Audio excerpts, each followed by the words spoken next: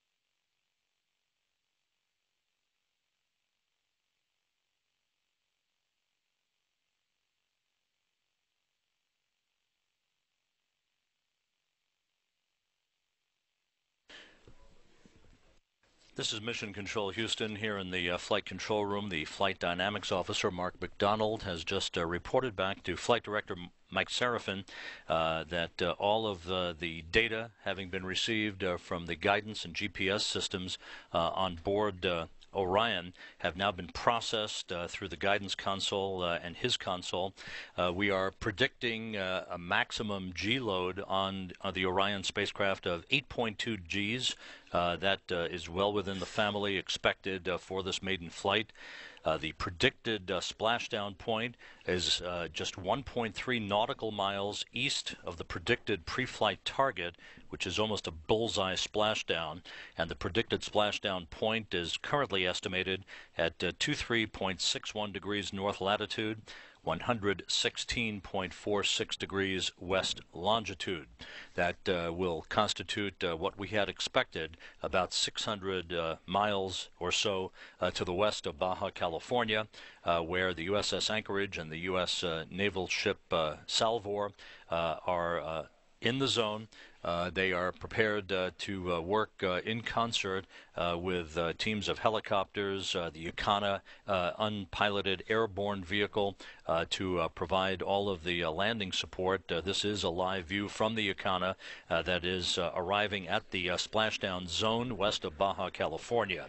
So again, the information uh, being uh, provided uh, by the flight dynamics officer indicates an almost bullseye splashdown predicted for Orion, just 1.3 nautical miles east of its predicted pre-flight target. And again, the coordinates expected for splashdown 23.61 degrees north latitude, 116.46 degrees west longitude, some 600 uh, statute miles west of Baja California. We are now uh, just a few miles away from reaching peak altitude. Again, uh, this uh, dramatic view of the limb of the Earth uh, from uh, one of the flight test cameras in the crew module uh, of Orion. Orion currently flying from southwest to northeast in in an orbit inclined 28.45 degrees to either side of the equator, approaching a point just off the northwestern coast of Australia. Again, all of Orion's systems are operating to perfection so far, as we are now uh, just 26 minutes away from separating uh, the crew module from the service module and beginning all of the critical events that will lead up uh, to Orion's high speed entry back into the Earth's atmosphere and its splashdown in the Pacific Ocean.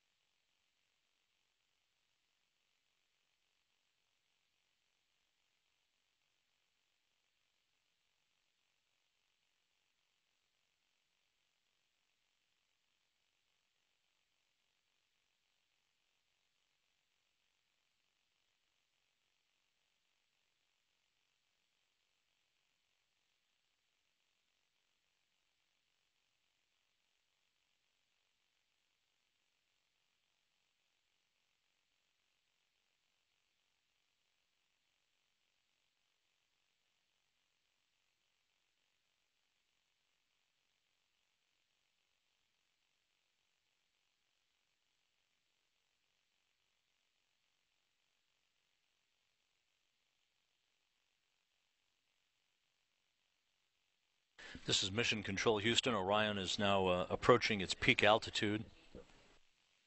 Currently uh, having passed 3,600 statute miles in altitude. The spacecraft uh, is flying uh, west of the continent of Australia, moving from southwest to northeast.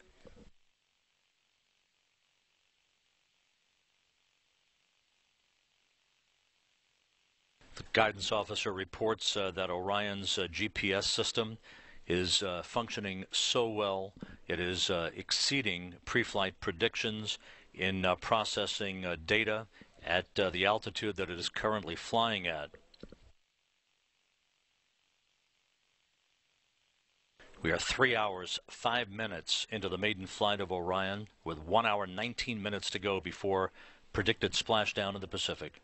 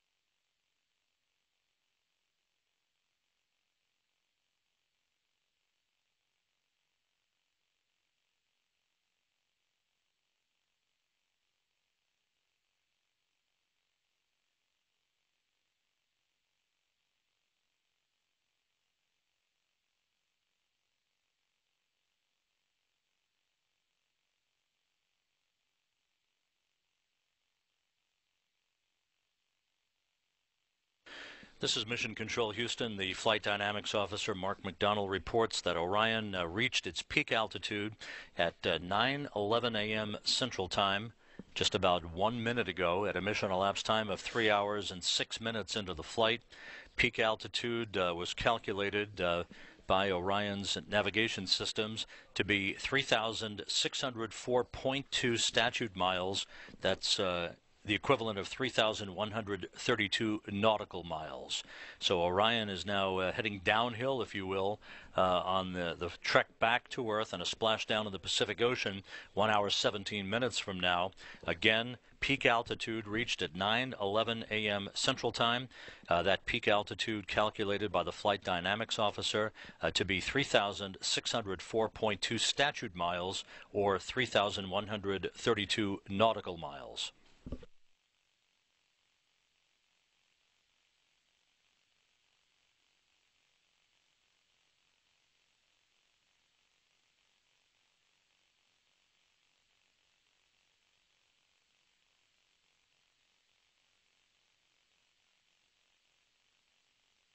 As uh, we reported uh, a few minutes ago, uh, earlier, uh, just about uh, five minutes or so ago, about 10 minutes ago, uh, the flight dynamics officer reported that the onboard systems aboard Orion has processed a predicted G-force to be built up on the spacecraft. if you were a crew member sitting inside the crew module, you would be experiencing a pull of 8.2 Gs that's uh, just to put that in perspective, a uh, crew that returns uh, from Earth in a Soyuz spacecraft from the International Space Station pulls about four and a half Gs uh, as it uh, enters into the Earth's atmosphere. So Orion will be pulling about uh, 8.2 Gs during the course of its high-speed reentry back to Earth. Its predicted splashdown target is just 1.3 nautical miles or 1.5 statute miles east of its pre-flight predicted target. That's almost a bullseye splashdown expected uh, for Orion. And the uh, coordinates of the predicted splashdown site 23.61 degrees north latitude, 116.46 degrees west longitude, some 600 uh, statute miles west of Baja California. The Spaceflight Meteorology Group here at the Johnson Space Center uh, has uh, maintained its uh, forecast throughout the morning of winds uh, out of uh, zero, three, uh, zero degrees at about 12 knots at the splashdown site and wave heights of about four and a half feet. Uh, those wave heights have picked up ever so slightly since uh, the beginning of the mission uh, just over three hours ago, but certainly well within constraints for a safe and efficient recovery of Orion once it's on the water.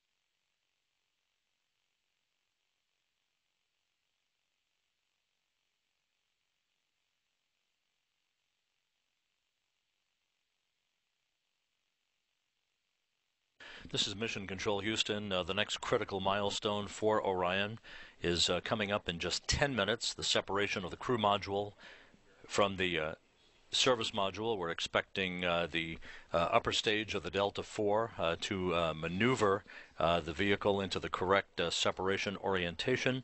Once Orion separates, it will uh, maneuver 180 degrees uh, through the use of its thrusters uh, to place its heat shield forward uh, for the start of its uh, high speed return back into the Earth's atmosphere.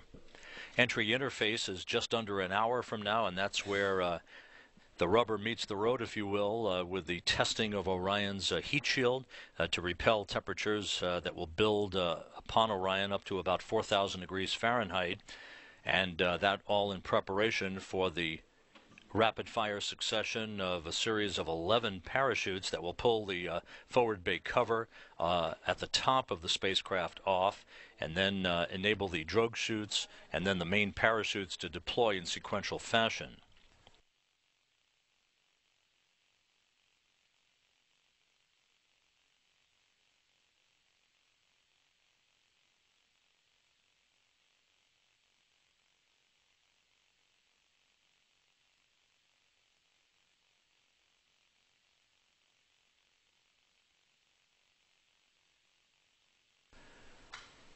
And um, just uh, in terms of geography, uh, just a minor uh, correction uh, to what I had been indicating earlier. Uh, the splashdown target uh, for Orion would put it about 275 miles west of Baja about 630 miles southwest of San Diego.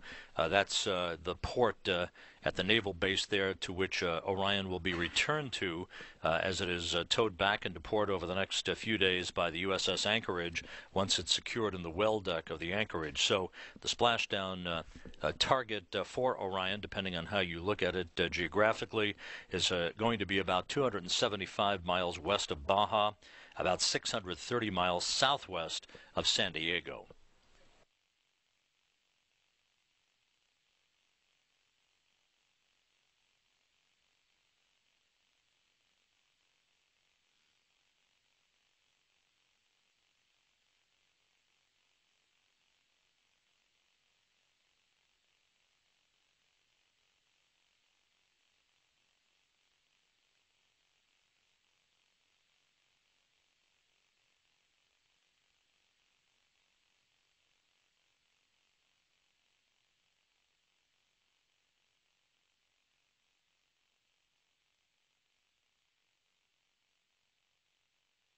To recap uh, all of the events of the day, uh, it has been uh, an historic day as uh, America takes uh, its next step in space exploration uh, with the launch of Orion atop the Delta IV Heavy rocket occurring on time at 6.05 a.m. Central Time, 7.05 a.m. Eastern Time from Launch Complex 37 at the Cape Canaveral Air Force Station in Florida.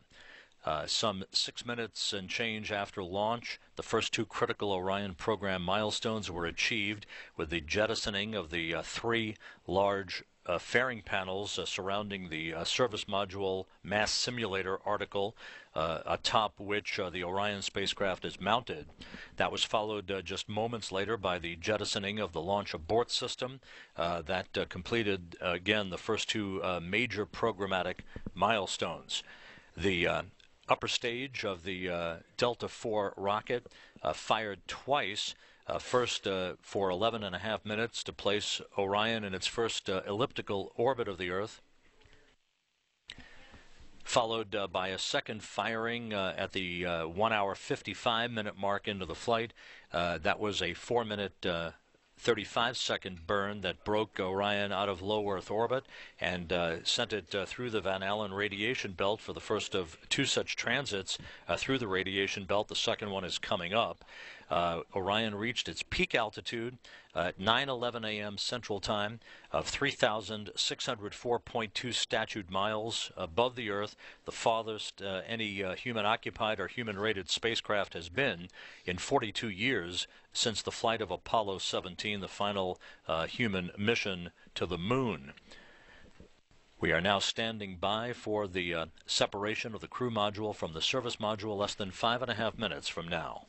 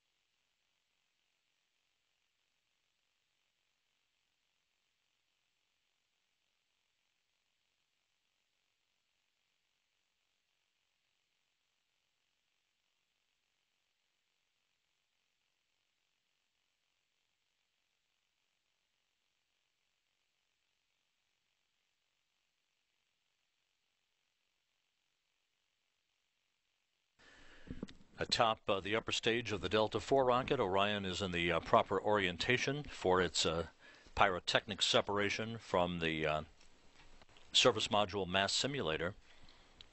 Standing by for that uh, major milestone, three minutes and 45 seconds from now.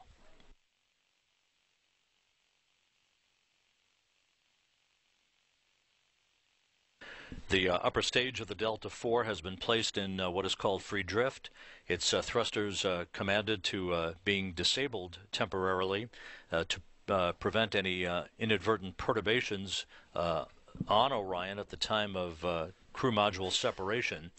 Once uh, the uh, Orion is free, flying on its own for the first time, uh, the Delta IV's uh, attitude control system will be uh, re-enabled. The second stage goes back into its own attitude control in order uh, to provide the correct orientation for its firing for a third time of its engine to dispose it into the Pacific Ocean, well away from Orion's splashdown point.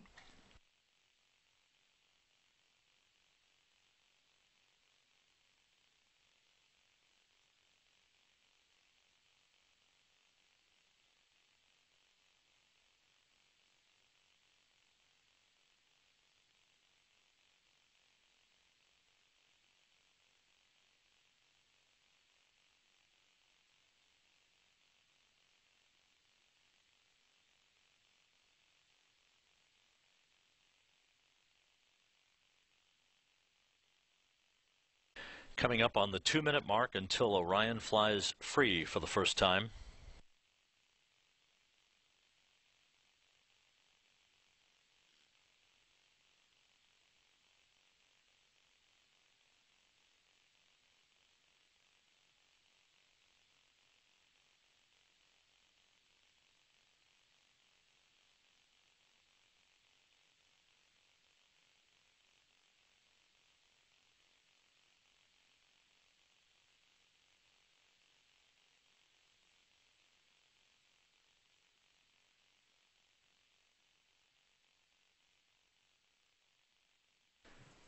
After reaching a uh, peak altitude of 3,604.2 statute miles above the Earth, Orion is now 3,315 miles in altitude, statute miles.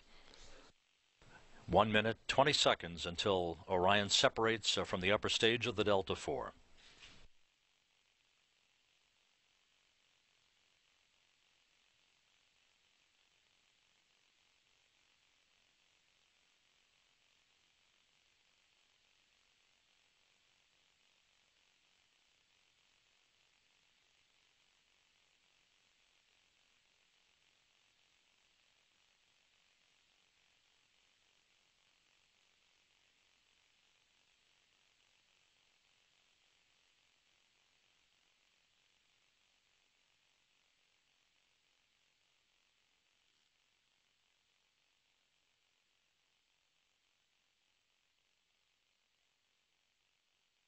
Inside 30 seconds now until crew module separation.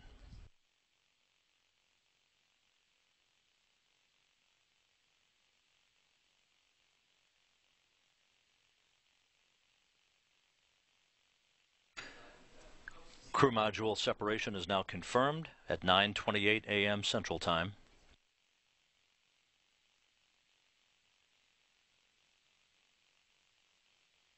Orion flies free for the first time in its history at a mission elapsed time of 3 hours 24 minutes into its maiden flight.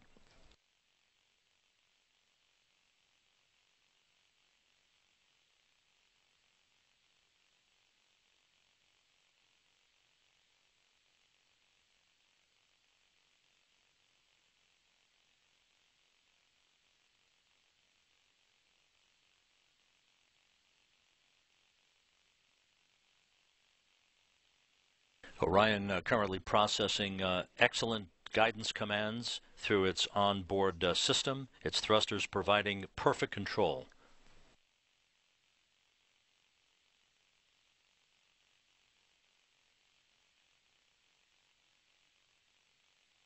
We have a very stable spacecraft, now at an altitude of 3,200 uh, statute miles above the Earth.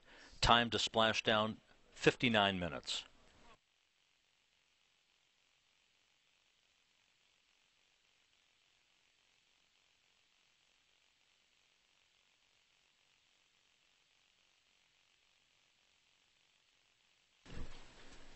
As we take uh, this uh, major milestone and the next step in uh, human space exploration uh, for the United States of America on board the International Space Station, the Expedition 42 crew uh, has been watching activities throughout the course of the morning with great interest, uh, led by Commander Butch Wilmore. Here is a still picture of the crew from left to right Alexander Samokutyaev, Anton Shkaplerov, Samantha Cristoforetti of the European Space Agency, and Butch Wilmore watching the launch of the Delta IV rocket uh, that took place at 6:05 a.m. Central Time, 7:05 a.m. Eastern Time. The crew has been uh, following all of the activities at yesterday's scrub and all of the activities throughout the course of the day today in uh, this maiden flight of Orion uh, with great interest uh, as they uh, are using the International Space Station, of course, as a test bed, as a platform for technology development and demonstration for all of the hardware that will be vital for a trip uh, to Mars in the not too distant future.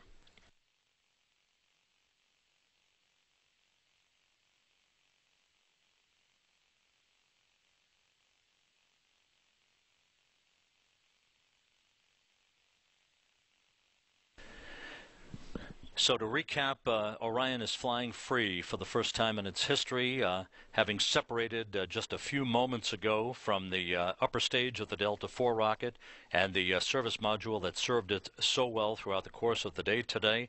Uh, launch occurring 3 hours 26 minutes ago, and we are now just 57 minutes away from splashdown in the Pacific Ocean. we are expecting an on target, almost a bullseye splashdown for Orion. We'll be back with all of that a short time time from now. But at this moment, let's go back uh, to where it all began this morning at the Cape Canaveral Air Force Station in Florida and Brandy Dean at Hangar AE. Brandy? Thanks, Rob. Back here now in the Mission Director Center at Hangar AE in Cape Cape Canaveral Air Force Station, and uh, the mission management team's continuing to watch. A few minutes ago, there was applause in the room when the uh, service module separated from the crew module and left the crew module to fly alone and make its return home. Coming up now on that, as uh, as uh, Rob said, splashdown in less than half, in less than an hour now, uh, and that uh, means that we're coming up on what's really the the trial by fire that we've been looking forward to, the test of the heat shield, so that we can make sure it can handle the heat when we are coming back from deep space destinations.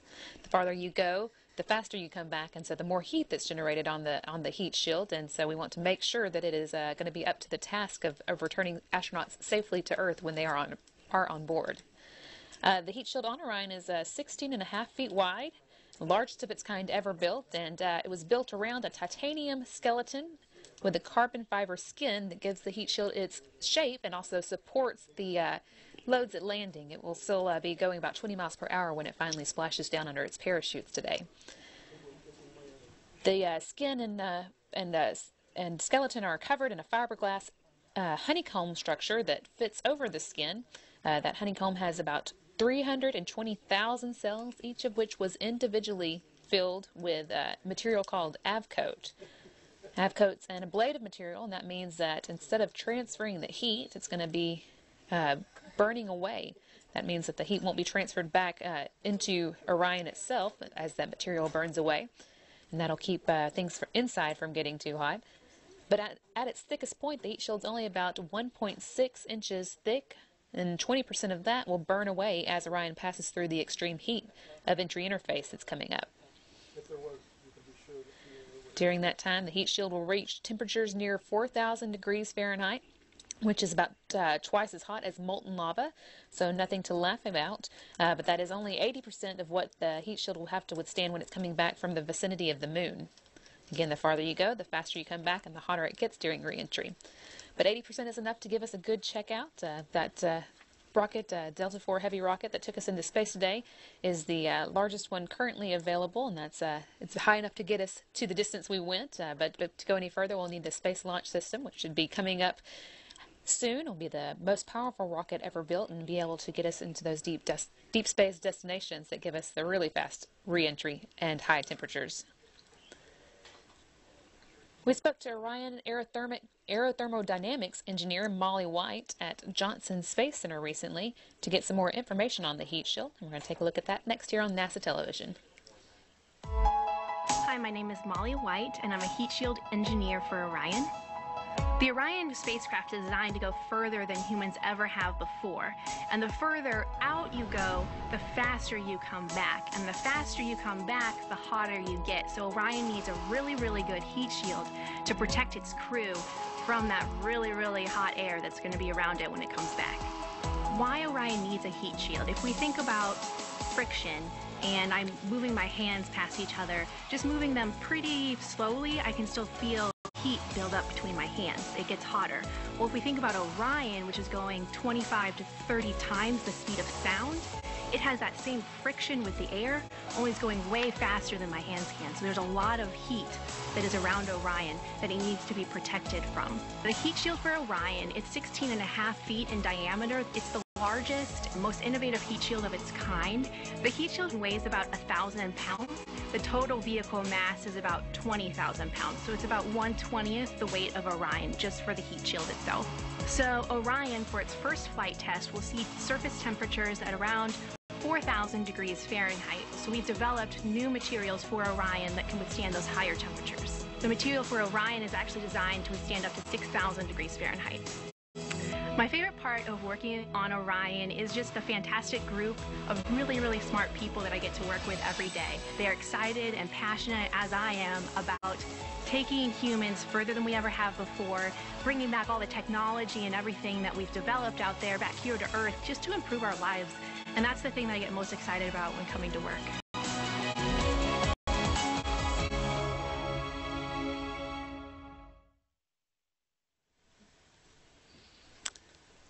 Although the heat shield will see the highest temperatures during reentry, the rest of the vehicle doesn't get a break. Uh, the sides of Orion, which you can uh, see here represented in this graphic, are covered with 970 tiles that make up Orion's back shell. These tiles are almost identical to those that protected the belly of the space shuttles as they were re-entering uh, from their trips around the Earth. But the temperatures on the side of Orion will get up to 3150 degrees Fahrenheit. Also, to better understand how Orion would fare if one of those tiles was damaged by micrometeoroid, micrometeoroid orbital debris in space, uh, two small holes have been drilled into two of the tiles on Orion's back shell. Each one is a one inch and uh, one inch wide and one inch deep. One is one inch deep, and the second is 1.4 inches deep.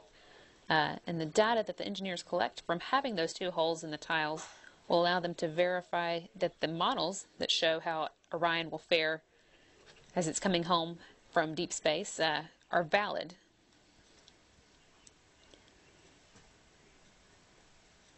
Even after Orion's heat shield does its job and the spacecraft comes out unscathed on the other side of the extreme reentry temperatures, there's still a lot of tests left to do uh, before Orion wraps up its day and it's all going to be packed into just a few minutes. The last five minutes before splashdown are all parachutes. Orion has 11 in all that uh, it uses to slow down from about 300 miles per hour after it comes out the other side of the Earth's atmosphere and uh, goes down to less than 20 miles per hour for a safe landing.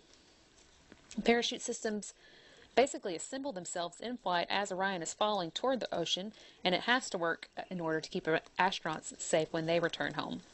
We spoke with Tara Radke, who's the Orion Integrated Landing Systems Manager, about the parachutes recently at Johnson Space Center. We're going to take a look at that now. My name is Tara Radke, I'm the System Manager for Orion Integrated Landing Systems. So, even though Orion has performed the majority of its mission of taking humans to space and then returning back home, we still have to do the last really important part, slowing down so that they can safely land and be recovered to the ship and back home. Orion's coming back from deep space and re-enters the atmosphere, going really fast. The guidance navigation control system does some maneuvering to help slow down the vehicle, and at that point, start looking for the right conditions to deploy the parachutes. First parachutes that come out are the four big cover parachutes. They're mortar deployed, so they're fired basically with cannons out the back of the vehicle at 125 feet per second. After those are inflated, Pyrotechnic piston thrusters push the cover off and jettison it away, and that exposes all the other parachutes that are on the top of the vehicle that can, so they can perform their job. The next parachutes in the sequence are the drogue parachutes. The drogue parachutes, again, are also mortar fired. Out into the clean air so that they can properly deploy.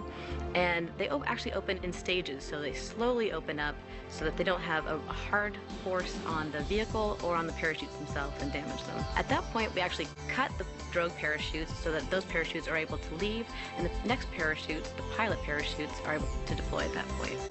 The pilot parachutes are small chutes. They're actually 11 feet in diameter and are actually used to pull the main parachutes out of the bay. The main parachutes are the large ones. Those are 300 pounds, and when they are fully inflated, 116 feet in diameter. The main parachutes do the majority of the job of slowing down the vehicle. All three main parachutes deploy. And they also open in stages to protect the structure and the parachutes and the crew on board. And at that point, slow the vehicle down to about 25 feet per second when it lands in the water. Working in the descent and landing phase is really challenging. You're coming from extreme environments that you've had to go along on the ride the entire way. As we work with the parachutes, as we work with the GNC team and how all these pieces fit together, it feels like a very important job to make sure that we're taking care of the crew, that we're bringing them back safely, and that we land and keep the vehicle safe around them and are able to recover them safely.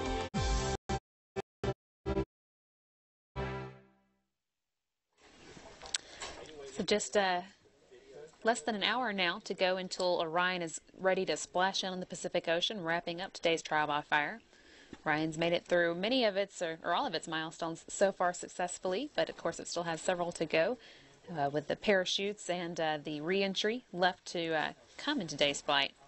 We hope to have video from Orion for much of its return, including possibly a look at the parachutes from above Orion uh, through its windows as it's return as it's coming uh, down for its splashdown in the Pacific Ocean.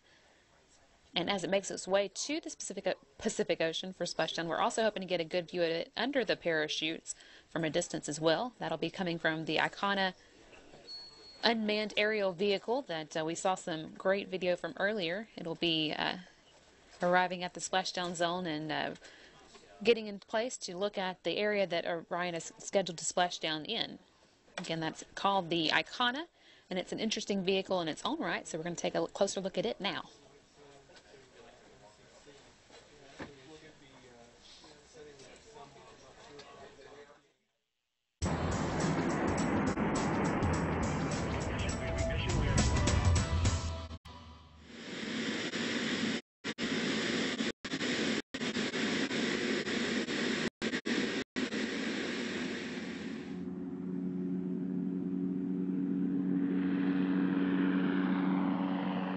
Launch day, before the actual launch of the Orion takes place in Florida, the Ikhana will take off from NASA Armstrong Flight Research Center and head out to the Pacific to acquire the Orion capsule on reentry and look at the parachutes as they come out.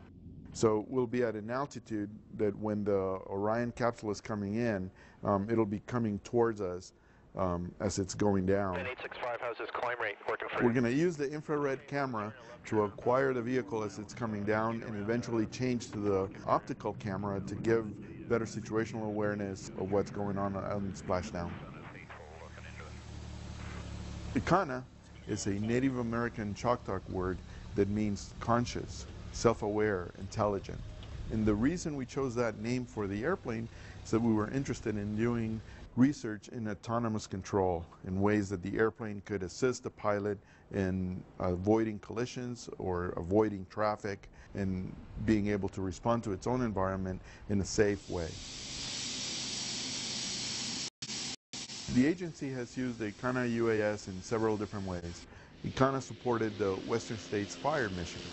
The goal there was to provide situational awareness to the firefighters in the middle of fighting a fire and do it in almost real-time manner, something they had not been able to have from the air in the same way. Okay, we're leveling off at 12,000. Our first tense point is going to have us around 80 knots. Do uh, We've also flown fiber optic technology on the airplane to measure the wing bending uh, on the airplane. push over, pull up. Roger. With the fiber, they could measure like hundreds of times more of what the wing was doing. So if you want to have the feedback to what you want the wing to do, either by bending the wing or bending other surfaces, you have way more feedback by doing it this way. Oakland Center for Hawk 2-1. It looks like I'll be overtaking traffic. Uh, my nose for uh, about three miles. I'd like to deviate right Right now, we're getting ready to fly the airplane with a research flight control system that will allow an eventual autonomous capability of the airplane, primarily for self-separation. Our goal is to improve the safety of UAS flying in the national airspace, and if we can help the pilots on the ground controlling the remotely piloted airplanes um, know where the traffic around them is and give them standard ways to separate from that traffic, this would be a great uh, way to, to do that. Oakland Center, I got a traffic advisory saying that I have uh, 02 Sierra overtaking. I'd like to deviate right for traffic. Hawk 2-1 approved as requested.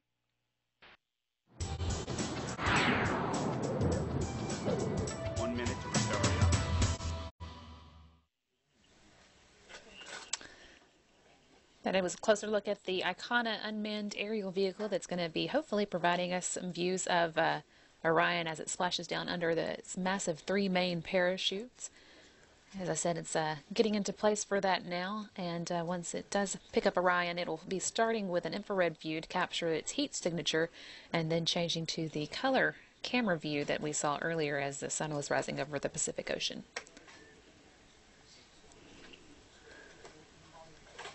About uh, 45 minutes now until splashdown. The crew module separated from the rest of the vehicle, making its way back through uh, back towards the Earth's atmosphere, while the uh, service module and the Delta IV Heavy upper stage are left to make their own way home. Coming up in about four minutes, uh, the Delta will be doing a, an engine firing that will set it on its way back through Earth's atmosphere as well for a controlled deorbit north of Hawaii.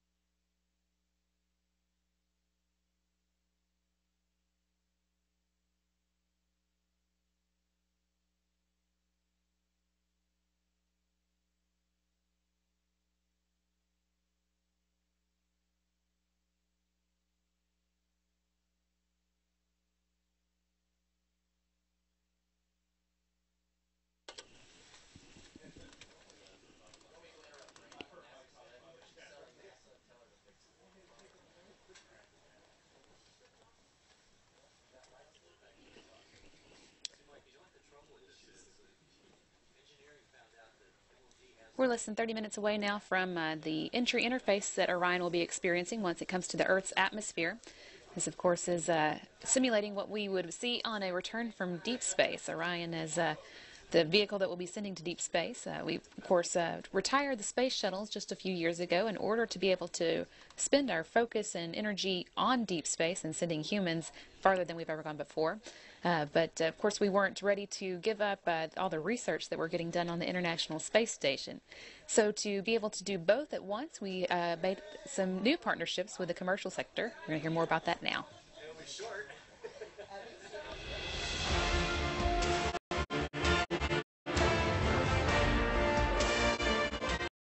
NASA's Orion spacecraft is designed to send astronauts on exploration missions into deep space. Closer to Earth, orbiting about 250 miles up, NASA is using the International Space Station to conduct cutting edge research and technology development and to increase our knowledge about what it takes to live and work for long periods of time in space. Currently, the six crew members of the space station travel to and from the orbiting laboratory in Russian Soyuz spacecraft. NASA's Commercial Crew Program is spearheading the development of a U.S. commercial crew space transportation capability that provides safe, reliable, and cost effective access to and from the International Space Station in low Earth orbit. In September, NASA selected two commercial providers, Boeing and SpaceX, to develop the systems to transport astronauts from U.S. soil to and from the space station using the company's Boeing CST 100 and SpaceX Crew Dragon spacecraft.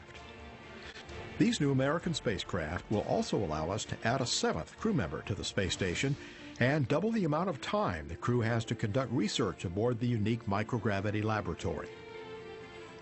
Certifying and using U.S. commercial company spacecraft to provide transportation services to low Earth orbit allows NASA to expand its focus to even more ambitious missions, sending astronauts to explore an asteroid, learning in the proving ground of space around the moon. Ultimately, NASA's Space Launch System rocket and Orion spacecraft and the skills and techniques learned in lunar orbit will enable humans to explore Mars. We are going to different exploration destinations, so we need different systems. NASA will own and operate its Orion spacecraft and Space Launch System for deep space missions, and will purchase services from Boeing and SpaceX to get astronauts to and from the station. That's what America's space program should look like in the 21st century.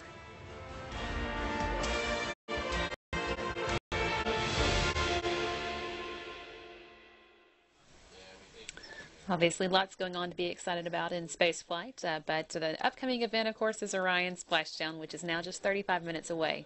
Since it's getting close, we're going to turn everything over to Rob Navias at Mission Control Houston to get us down through Splashdown. Rob?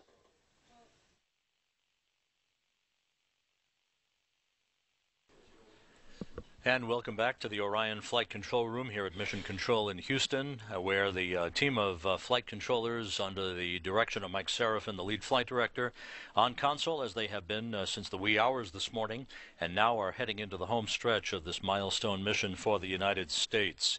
Uh, while uh, you were at Hangar AE with Brandy Dean. Uh, Sarafin uh, polled his team of flight controllers here for an extension of the power up of Orion uh, once it is on the water in the Pacific Ocean. So that power up uh, extension uh, to keep Orion powered up from a nominal time of 15 minutes after splashdown has been approved. So Orion will stay powered up now for an hour after its predicted splashdown just 33 and a half minutes from now and that will enable Lockheed Martin to gain some valuable data on the thermal effects uh, after uh, Orion is back on Earth so that uh, it uh, will enhance uh, the post-flight analysis of all of Orion's systems and how they fared during its flight of 4 hours and 23 minutes. Uh, just a, a, few moments ago, uh, the upper stage of the Delta IV rocket and its attached service module uh, that uh, Orion had been attached to, uh, it uh, performed a final burn of that upper stage engine, a disposal burn, if you will, to place at a safe distance away from Orion, and it will plummet into the ocean to burn up in the Earth's atmosphere. Its job having been well completed throughout the day today. So the next mi- major milestone we're looking at is just seven minutes from now. That will be about a 10 second firing of the thrusters on Orion in what is called the crew module raise burn. It's essentially a burn uh, to test the thrusters and to slightly orient the spacecraft into the proper uh, attitude or orientation for its uh, entry into the Earth's atmosphere, which is scheduled just 22 minutes from now.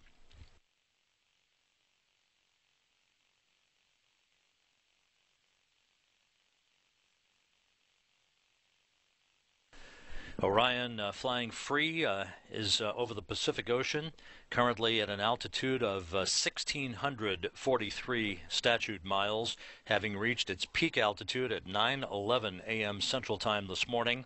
Uh, its peak altitude reached at 3,604 miles, uh, the statute miles above the Earth, the farthest any uh, human rated or human occupied spacecraft has uh, flown away from Earth since Apollo 17 uh, 42 years ago in December of 1972.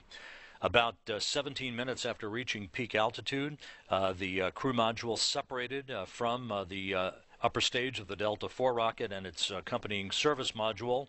Uh, the guidance officer here in Mission Control reported uh, that all of Orion's guidance systems were in excellent shape and that its thrusters were providing excellent control.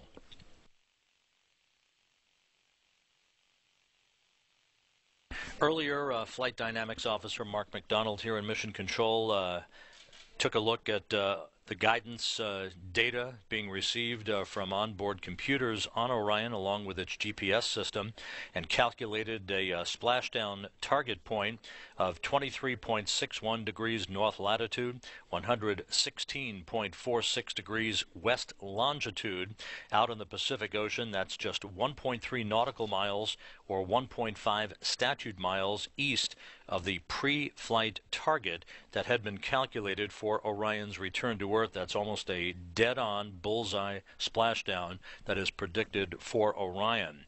It uh, will be pulling about 8.2 Gs uh, at the peak uh, of its velocity back to Earth, which will reach about 20,000 miles an hour at the time of entry interface when it's about 400,000 miles above, 400,000 feet above the Earth's uh, atmosphere.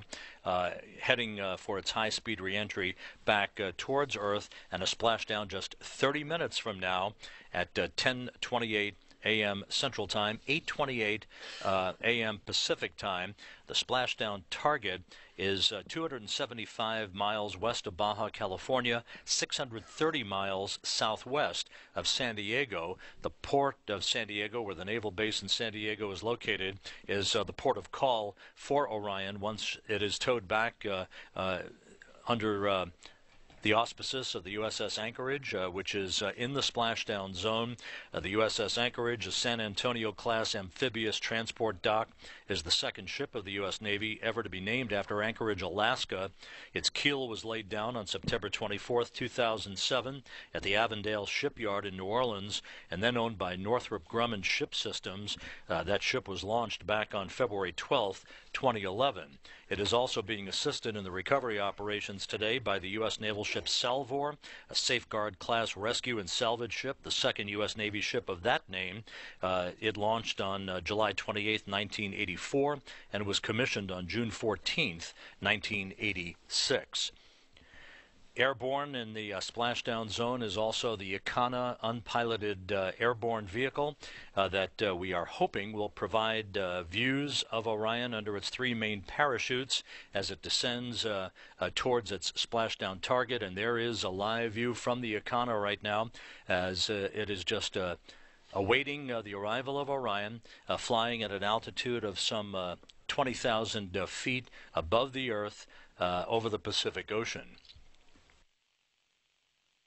We're about two, two minutes away from uh, the uh, raise burn, as it is called, this brief firing of Orion's thrusters uh, to fine tune its orientation uh, relative uh, to the angle uh, of attack that it will be arriving at when, once it enters the Earth's atmosphere just 18 and a half minutes from now.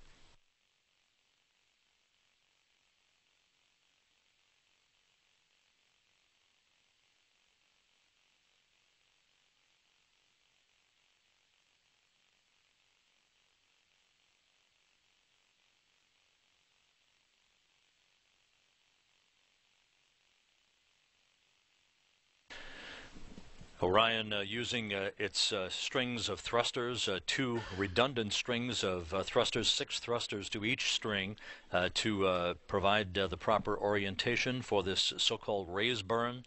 Again, this raise burn is simply a test of the thruster system before Orion begins to plummet back into the Earth's atmosphere. A series of critical activities will be happening in rapid-fire succession once Orion reaches the Earth's atmosphere. the jettisoning of the forward bay cover that is uh, basically at the very top of the spacecraft that will expose uh, the variety of uh, parachutes that we'll talk about once again in just a moment. Orion now has maneuvered uh, into the correct orientation for its raise burn and for its ultimate angle of attack into the Earth's atmosphere.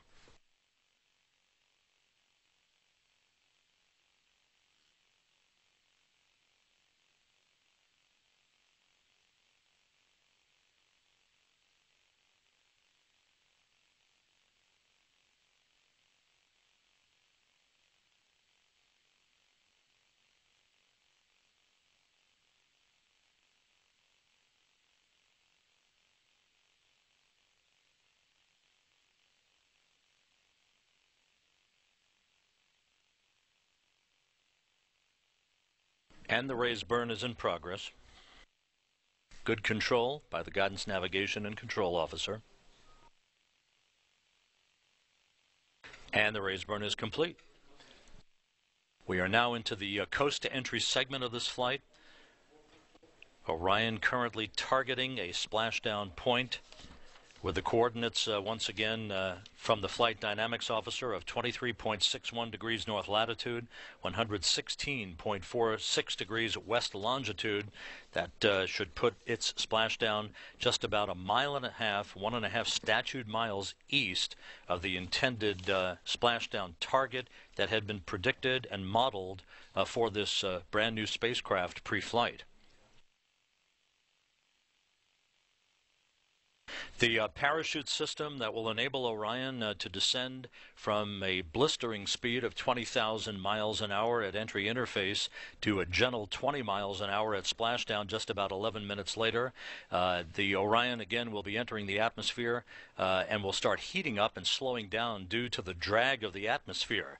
At about 24,000 feet, uh, the forward bay cover parachute mortars will fire to pull the three chutes above the vehicle. About one and a half seconds later, at 23,400 feet. That forward bay cover is jettisoning. It will be jettisoned, exposing the drogue, pilot, and main parachutes. Two drogue mortars will fire about two seconds after the forward bay cover is jettisoned, and the drogue parachutes will unfurl, stabilizing the crew module. Some 56 seconds later, the drogue parachutes are released. Three pilot mortars will fire at approximately 7,980 feet, releasing the three pilot parachutes, which in turn pull the main parachutes out. The pilot parachutes release from the main chutes, allowing the mains to unfurl. Both the drogue and the main chutes will reef at deployment, which uh, is a gradual uh, unfurling of those chutes, uh, preventing a rapid deceleration and reducing the possibility of damaging the parachutes themselves. These main parachutes will reef uh, by uh, opening to about 3% of their full size for 8 seconds, then about 10% of their full size for another 8 seconds, then they'll be fully opened until splashdown, at which time they'll be released from the crew module. The uh, three main parachutes, as you've heard uh, described in other uh, discussions uh, throughout the course of our broadcast today, are uh, quite impressive. Uh, these three chutes, when fully deployed, stretch uh, the length of a football field. Uh, they're each 116 feet in diameter, 220 feet in total length once deployed.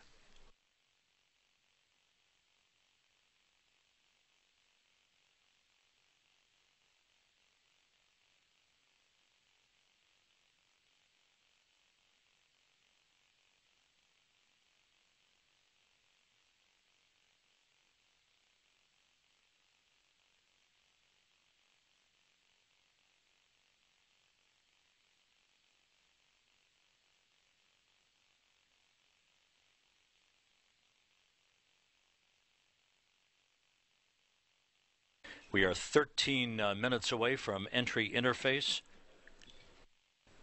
Orion uh, transiting uh, the Pacific Ocean currently at an altitude of 887 miles, having reached its peak altitude uh, not quite an hour ago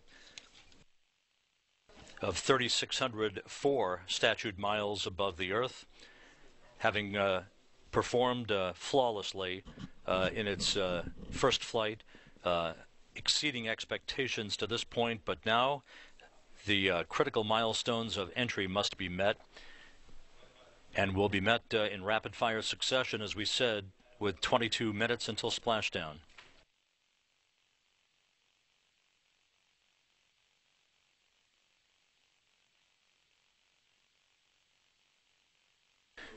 The uh, guidance officer reports that we are tracking straight down the corridor for an on target splashdown in the Pacific Ocean.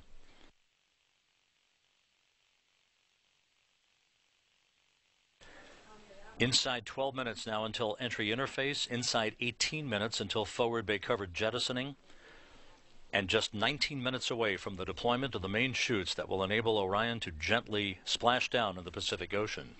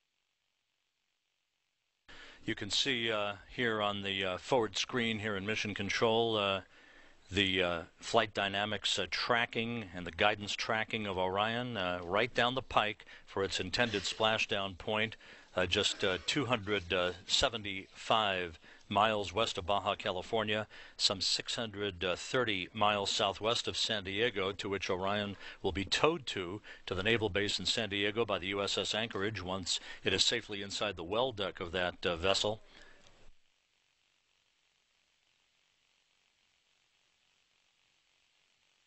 Nine and a half minutes until entry interface.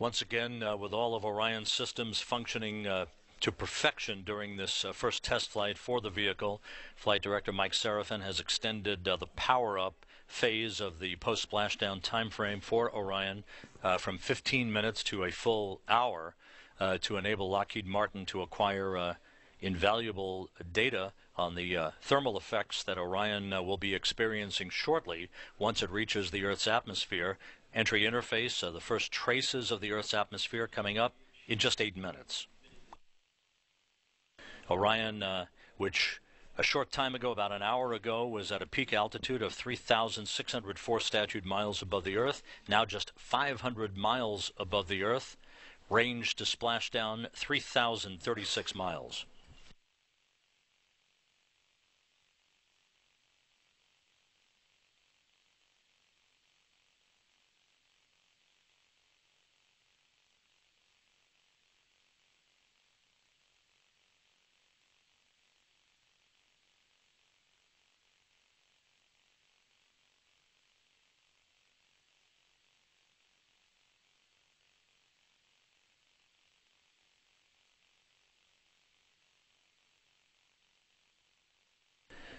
This uh, view uh, from the Ikhana unpiloted airborne vehicle that's in uh, the splashdown zone is showing uh, one of the P-3 aircraft, part of the uh, recovery uh, force of boats, vessels, the USS Anchorage, the U.S. naval ship Salvor, and other airborne assets that are tracking the arrival of Orion for its splashdown in the Pacific Ocean just 16 and a half minutes from now.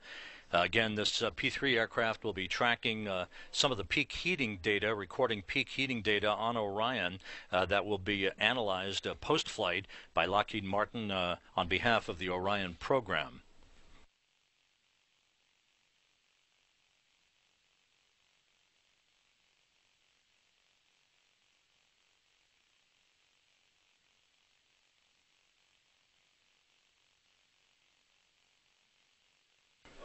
Orion now 400 miles above the Earth, range to splash down 2,600 miles.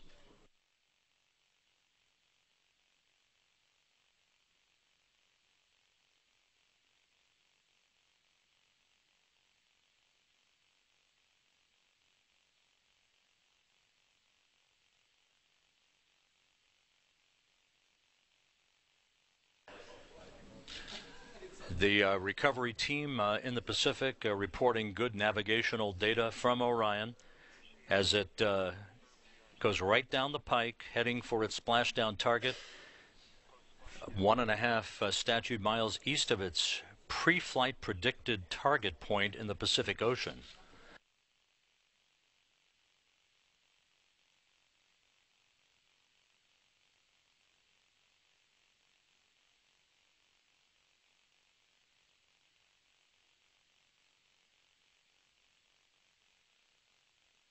Now just five minutes until entry interface.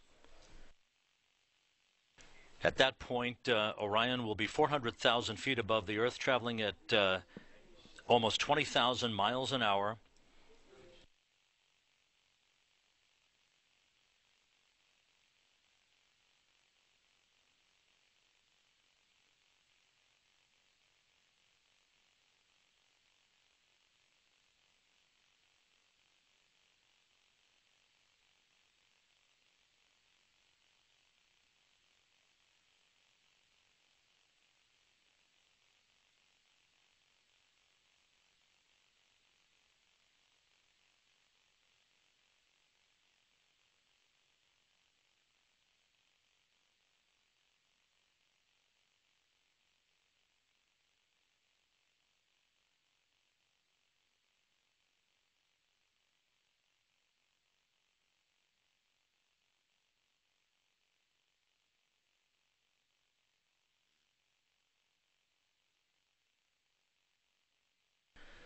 Launched from Complex 37 at the Cape Canaveral Air Force Station four hours, 10 minutes ago.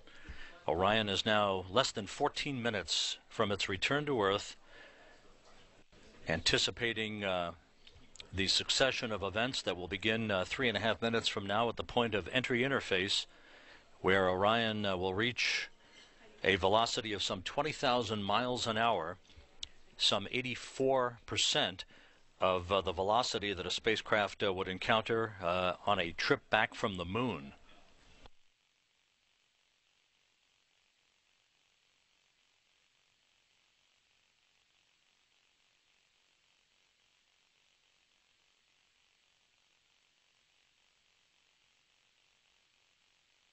And now we're receiving a live video from Orion from inside the crew module and one of the flight test cameras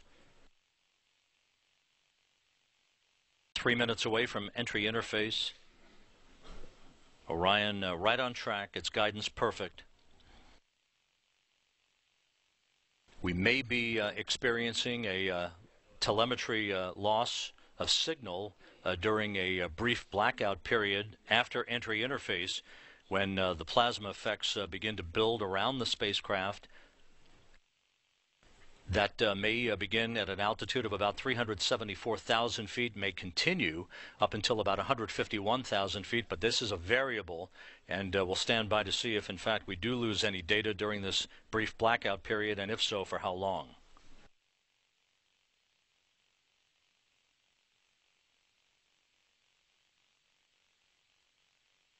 Everything quiet here in the uh, flight control room. Flight controllers uh, under the direction of Mike Sarafin the lead flight director, uh, watching their data inside two minutes until entry interface.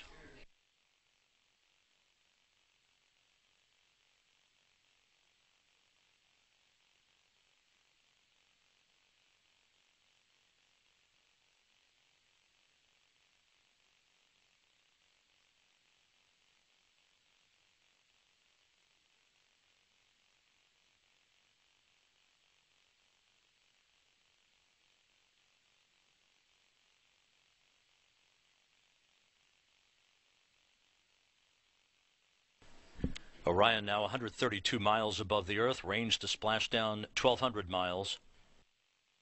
11 minutes until splashdown. Coming up on one minute until entry interface.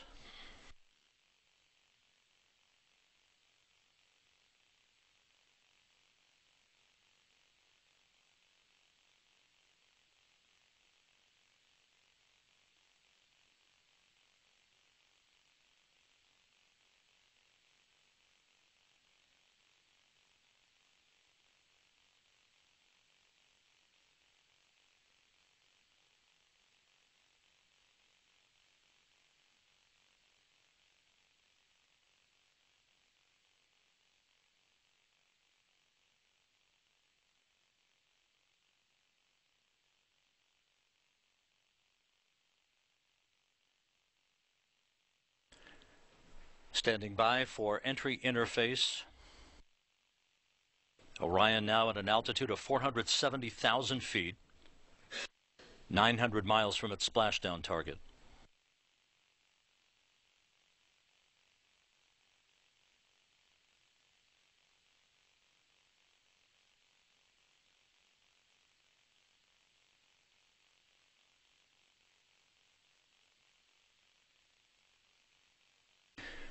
Guidance officer confirms that Orion has reached entry interface. The moment of truth for Orion for the next 9 minutes 45 seconds.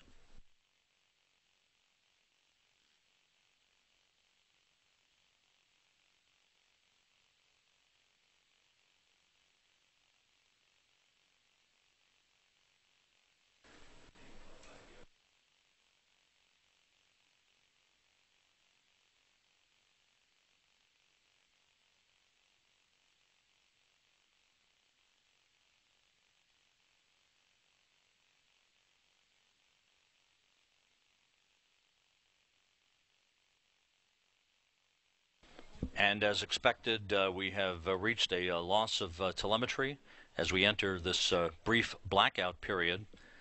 Uh, at the time of the blackout, the flight dynamics officer reported that all of Orion's systems looked perfect.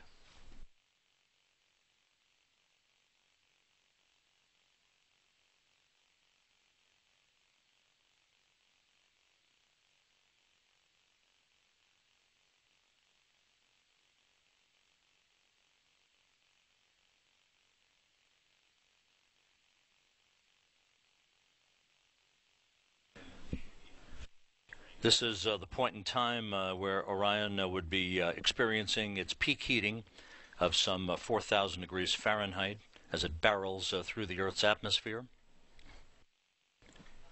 traveling about 20,000 miles an hour, some 84% of the velocity of a spacecraft returning from the moon.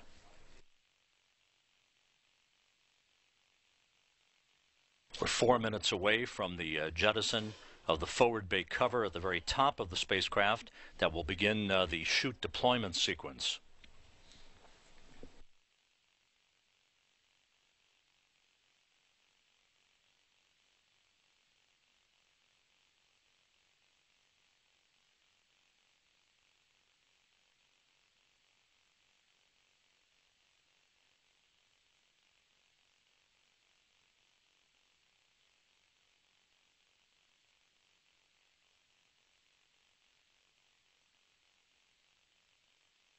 And we've uh, reacquired uh, signal from Orion, good data being processed. This view from the Ikhana uh, unpiloted airborne uh, vehicle over the Pacific Ocean, over the splashdown zone. Time to splashdown seven minutes. Range to splashdown 127 miles. And now this view from Orion, its thrusters uh, maintaining control.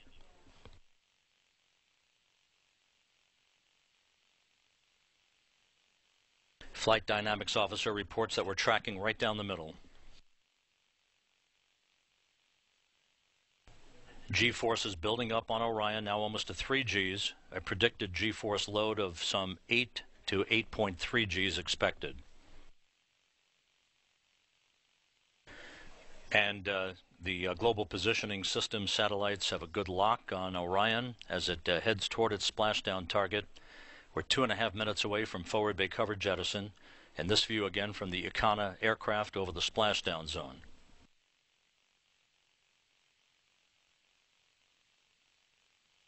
Orion at 125,000 feet.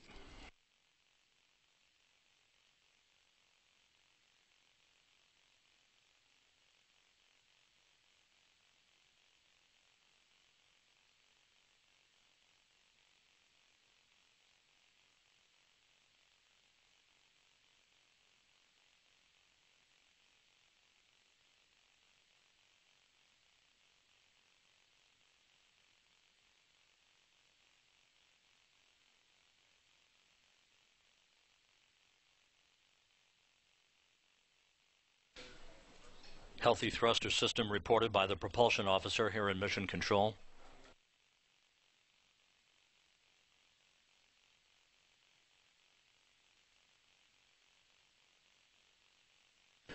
Passing through 80,000 feet.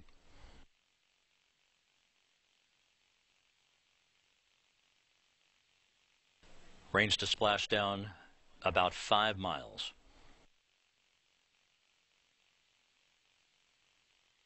Passing through 60,000 feet.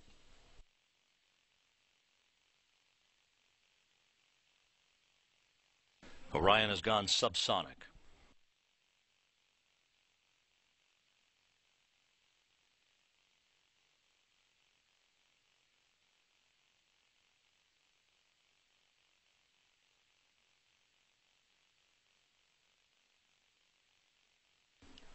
Standing by for forward bay cover jettison.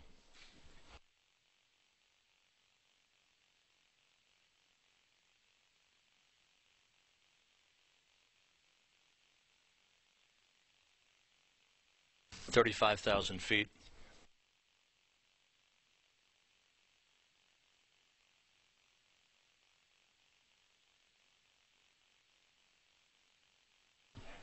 That view of Orion from the Ikhana.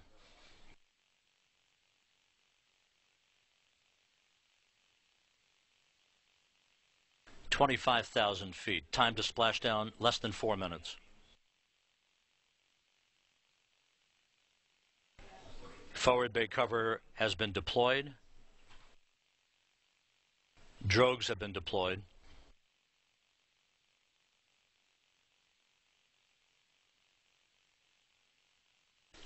Great video from the Ikhana.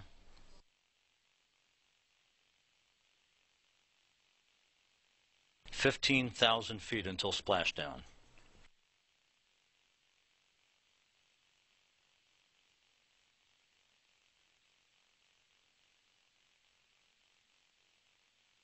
Coming up on main chute deploy.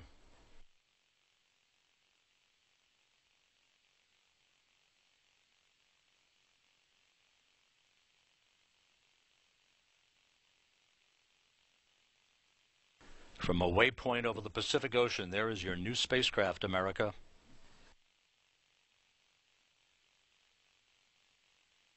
Jogs away. Main chute deploy. On mains, everything looking good. Good reefing reported.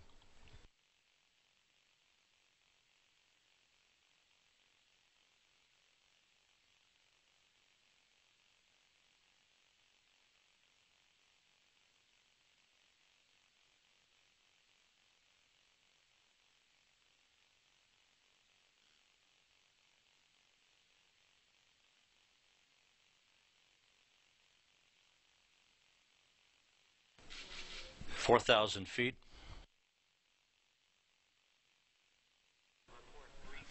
Three good main chutes reported uh, from the USS Anchorage. That's confirmed here in Mission Control.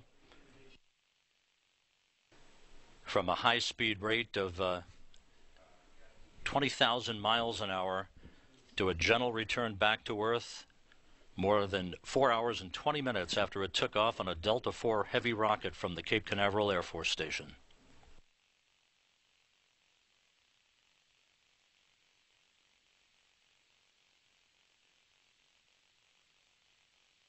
Thirty-two hundred feet now until splashdown.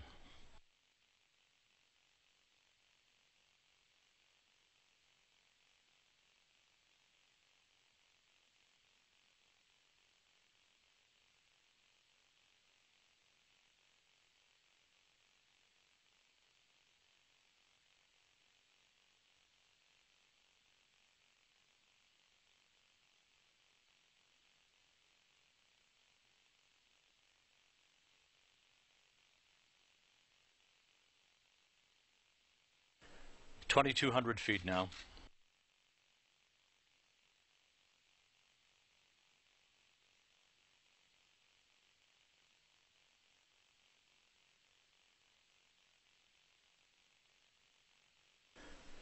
Winds uh, at the surface uh, just about 12 knots. Wave heights uh, no more than about four and a half feet or so. Perfect conditions for Orion's homecoming.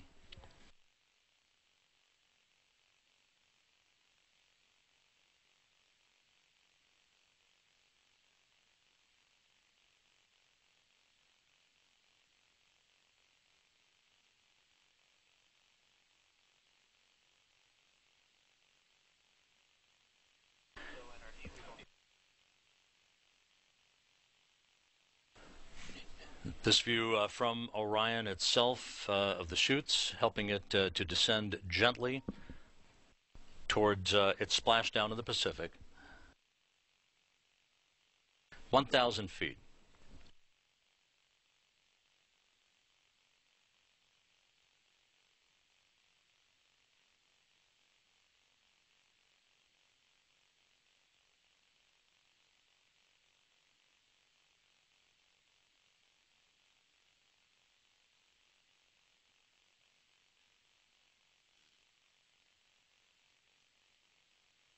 Just a few hundred feet until splashdown.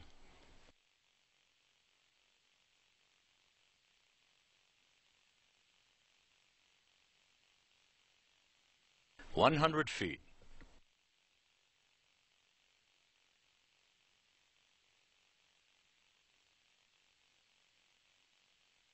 We have splashdown. Splashdown confirmed at 10:29 a.m. Central Time.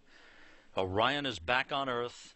America has driven a golden spike as it crosses a bridge into the future. And we now have confirmation that Orion is stable one, upright.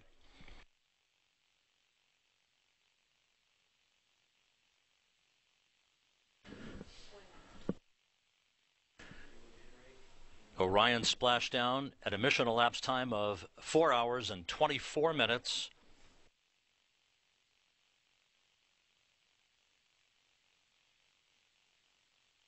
And the uh, crew module uprighting system uh, is now being activated. These are the five inflatable airbags at the uh, at the top of the spacecraft to ensure that Orion remains in an upright position. And you can see it uh, on the water.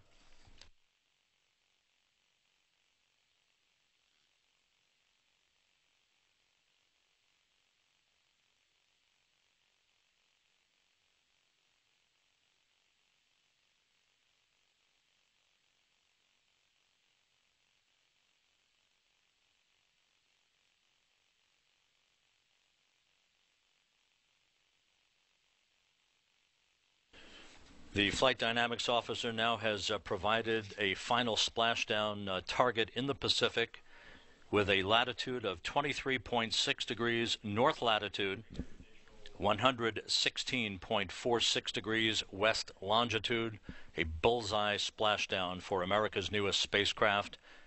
Splashdown occurring once again at 10:29 a.m. Central Time, 8:29 a.m. Pacific Time, at a point uh, some 270 miles or so west of Baja California, about 630 statute miles southwest of San Diego.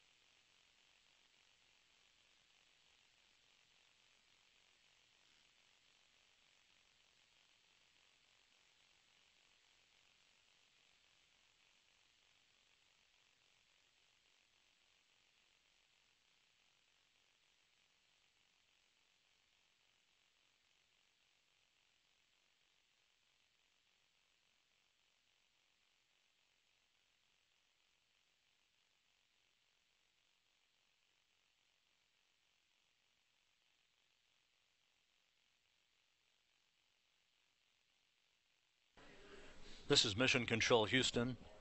Here in the uh, flight control room, uh, procedures uh, for post splashdown uh, activities and the monitoring of data.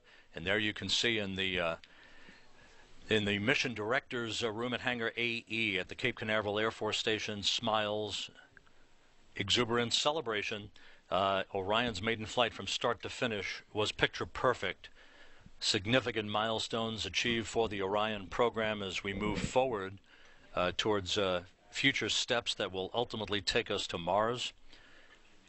But this day belonged uh, to the team uh, all the way around Lockheed Martin, United Launch Alliance, NASA, all of the contractors involved in the development and testing of Orion for what uh, turned out to be the most perfect flight you could ever imagine in a first flight of a vehicle that was being tested, a brand new vehicle launched on a Delta IV rocket, a splashdown right on target in the Pacific Ocean, a significant milestone for America's space program.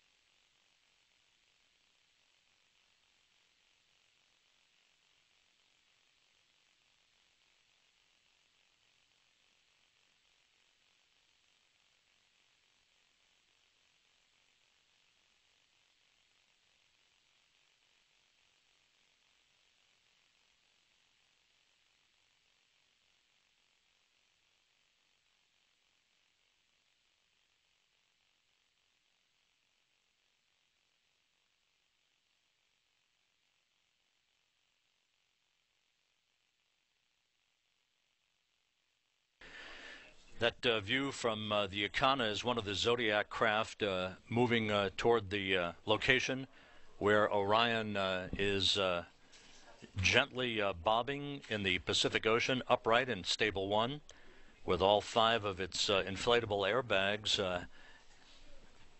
Having inflated properly to maintain it at a 180 degree orientation upright, it splashed down stable one and stayed in that uh, configuration through the time that uh, its airbag system was deployed. Uh, every single system on this spacecraft functioned by the book from start to finish.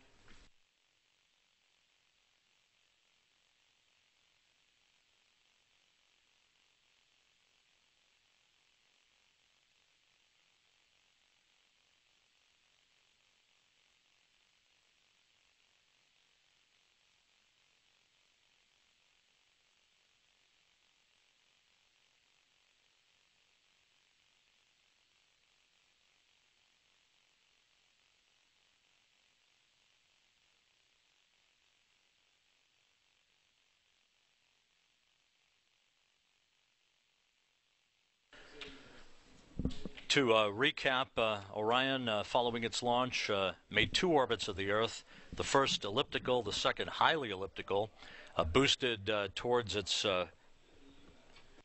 its point in the sky and into deep space by the upper stage of a Delta IV rocket that launched the vehicle from the Cape Canaveral Air Force Station and Launch Complex 37 at 6:05 a.m. Central Time, 7:05 a.m. Eastern Time. Orion uh, passed through the Van Allen radiation belt twice, all of its systems functioning perfectly, no effects whatsoever on the shielding or the computers or the avionics of the uh, craft. Reaching a peak altitude at 9:11 a.m. Central of 3,604.2 statute miles. The uh, crew module separated uh, from the uh, service module right on time at 9:28 uh, a.m. Central Time, and then we moved uh, towards uh, the critical entry phase. once again, this view we're looking uh, from one of the helicopters providing sequential still video uh, of Orion in the water, uh, perfectly upright, having splashed down upright, releasing its parachutes,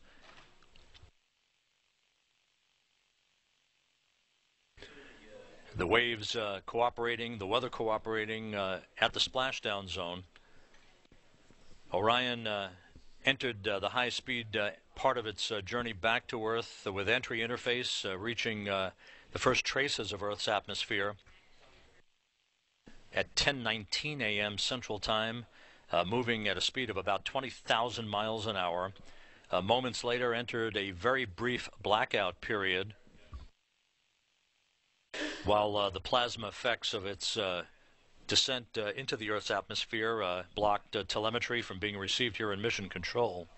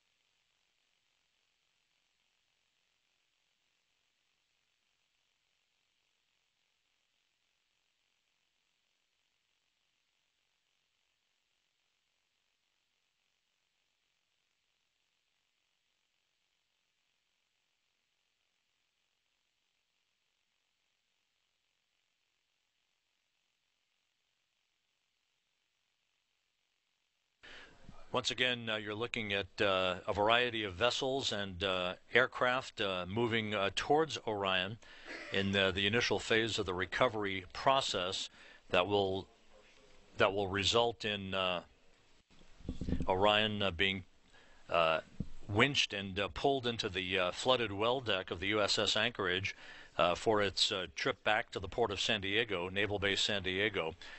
We we now received a, um, a report that uh, three of the five uh, crew module uprighting system airbags at the top of the uh, spacecraft did inflate fully. One uh, was partially inflated. A uh, fifth bag uh, was not clearly visible to the initial recovery team members, but irrespectful of that, Orion landed in an upright position under its three main parachutes in Stable 1, as it is called. If you recall from the old Apollo days, uh, Stable 2 would have meant upside down. It landed Stable 1, it splashed down in Stable 1, and maintained uh, its upright position through the use of its uh, airbag system at the very top of the spacecraft.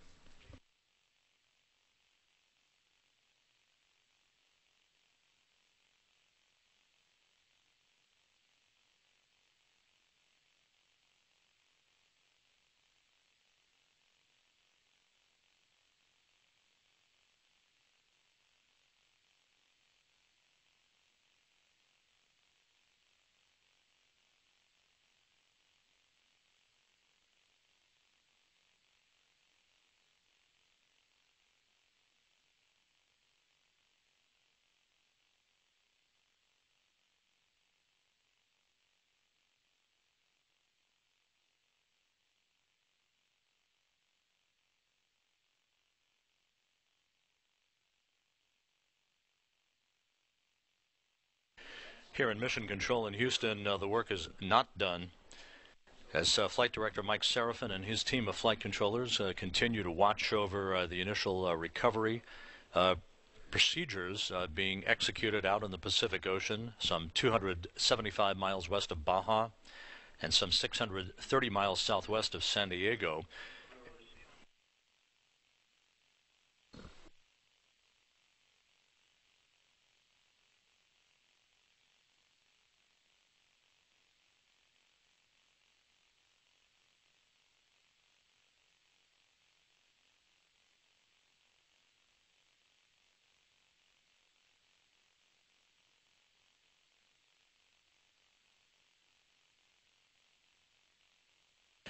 Sarafin, uh, about an hour or so ago, gave a uh, green light uh, after polling his team of flight controllers uh, for the extended power up of Orion in the water uh, to provide Lockheed Martin a bonus opportunity to retrieve thermal data from the spacecraft from its high speed reentry back to Earth, where temperatures around the vehicle rose to about 4,000 degrees Fahrenheit.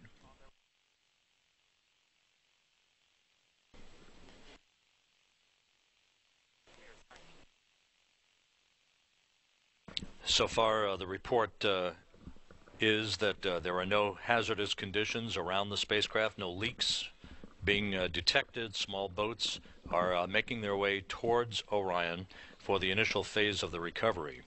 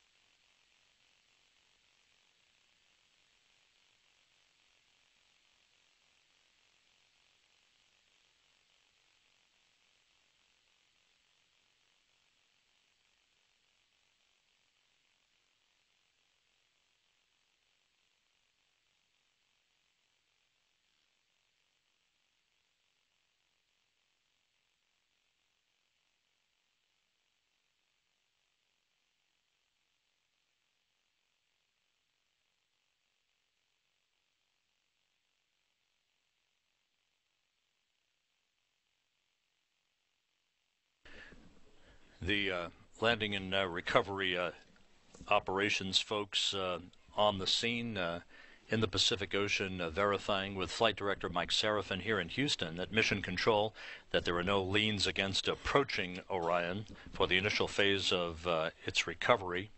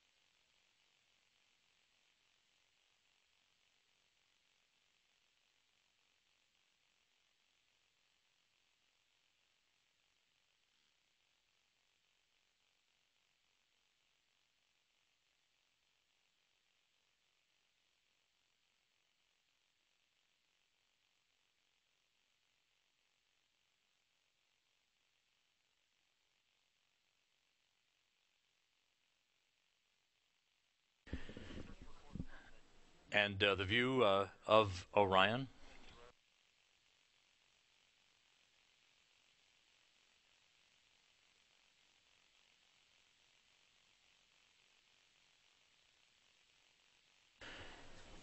Again, uh, multiple views uh, from uh, both uh, airborne craft and vessels on the water of the Orion spacecraft as it awaits the arrival of the recovery teams that are uh, making their way.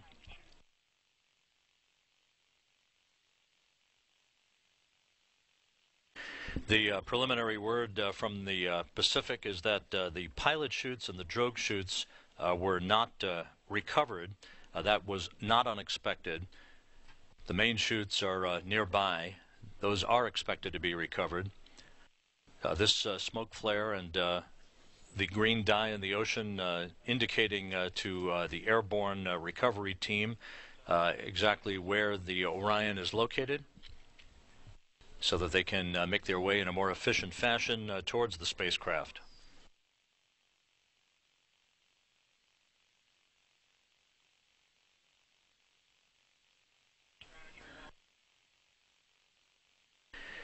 Also uh, receiving reports now that the forward bay cover was not uh, recoverable either in the Pacific Ocean. But again, uh, all the data of all of the functionality of Orion during its high speed return back to Earth uh, has been logged and will be analyzed by Lockheed Martin and the Orion program in the days and weeks ahead.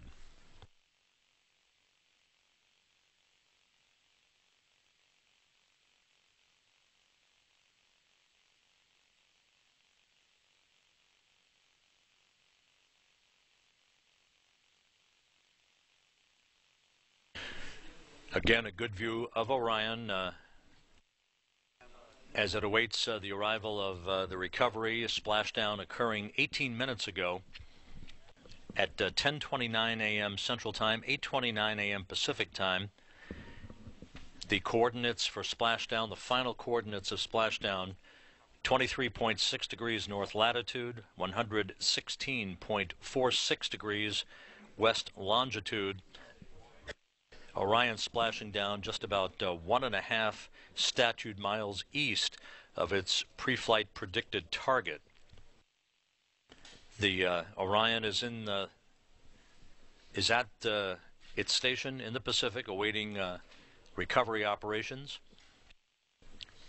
This is a point about 275 statute miles uh, west of Baja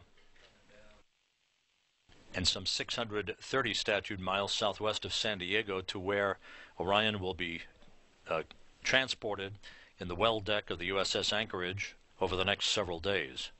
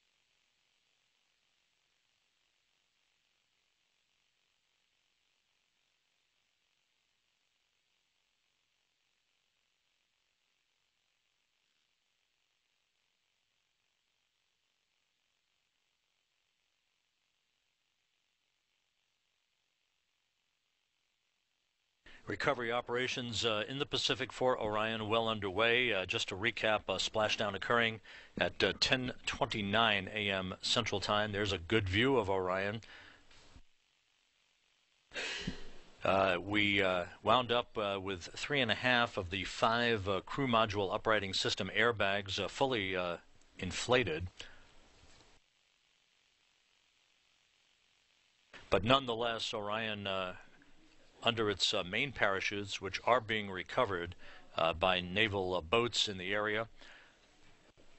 Those three main chutes are being recovered. The forward bay cover itself, the drogue chutes, and the pilot chutes were not able to be recovered according to the recovery teams.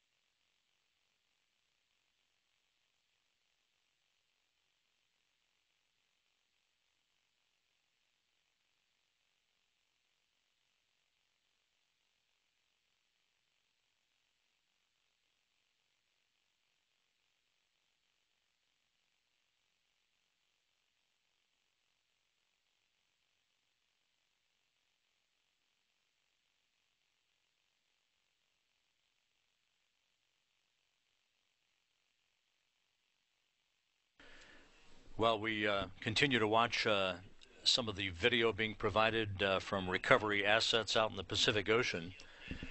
Uh, the uh, Lockheed Martin mission manager, Brian Austin, at Hangar AE at the Cape Canaveral Air Force Station, where this uh, milestone journey began almost five hours ago, offering congratulations to Shane Roski, the Orion launch conductor, who oversaw the countdown and liftoff of the vehicle, as well as uh, Mike Sarafin, uh, the lead flight director here in Mission Control.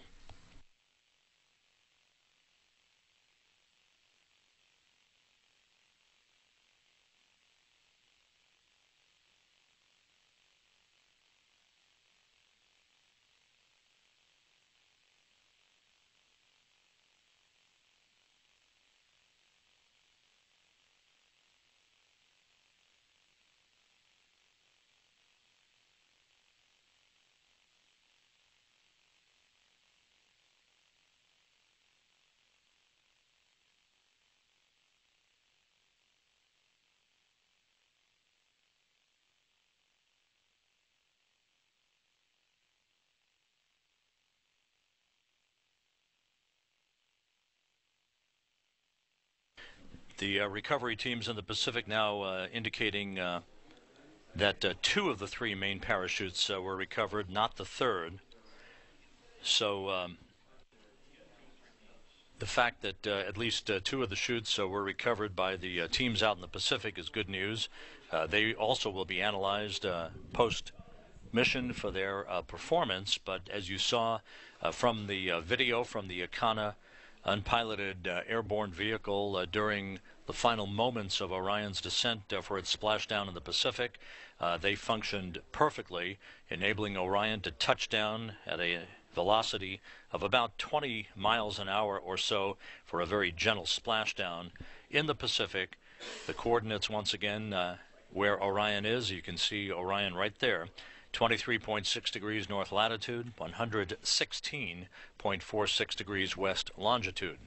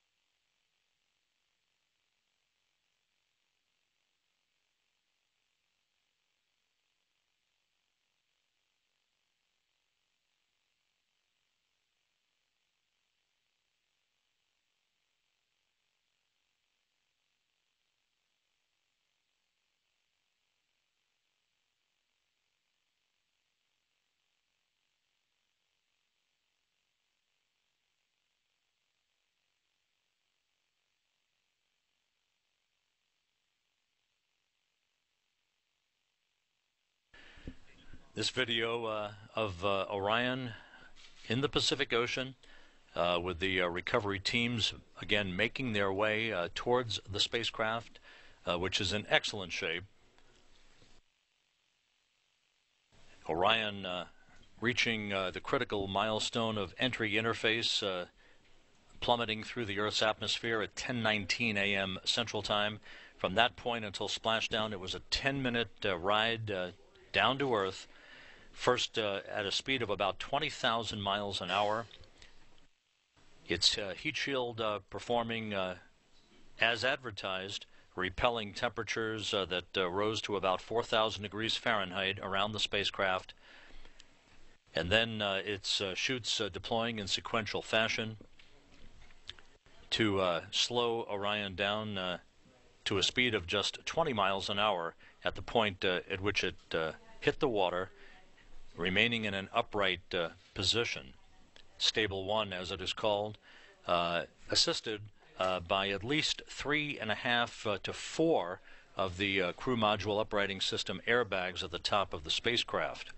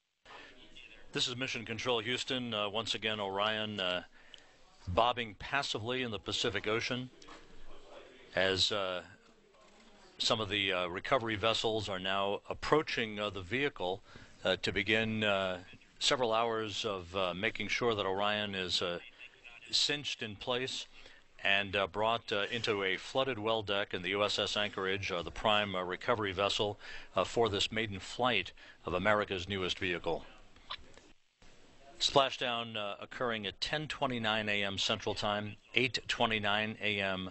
Pacific Time, at a point uh, some 275 miles west of Baja California, 630 miles southwest of San Diego. The coordinates once again 23.6 degrees north latitude, uh, 116.46 degrees west longitude.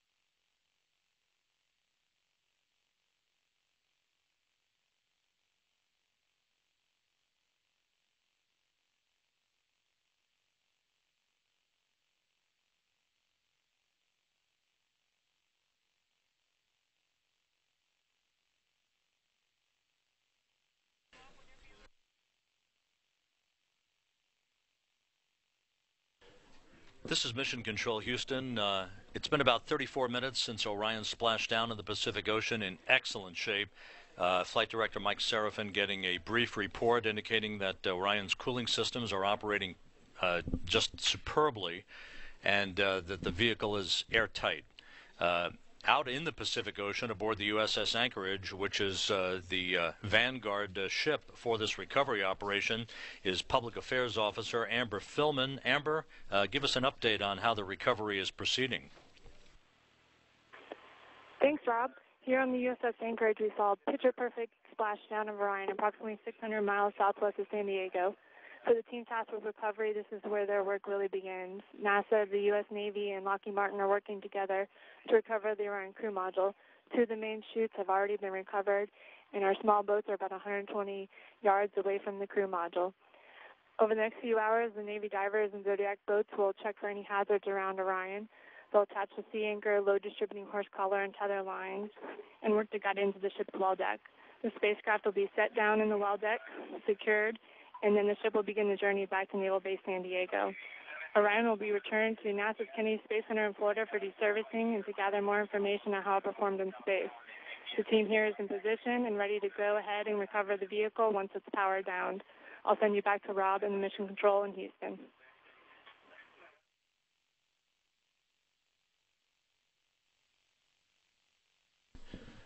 Thanks, Amber. Uh, a lot of work ahead uh, for uh, the folks that uh, you are with out on uh, the USS Anchorage and all of the other uh, components of this uh, recovery uh, team uh, that will bring Orion into the well deck of the Anchorage a few hours from now.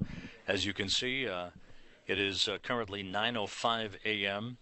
out in the Pacific Ocean, some 36 minutes after Orion's splashdown, which was on target, just about right at the exact spot that was predicted and modeled pre-flight uh, under the uh, three main parachutes. Uh, Orion gently splashed down at 10:29 uh, a.m. Central Time, 8:29 a.m. Pacific Time, to wrap up a mission of four hours and 24 minutes in duration following its launch from the uh, Cape Canaveral Air Force Station earlier today.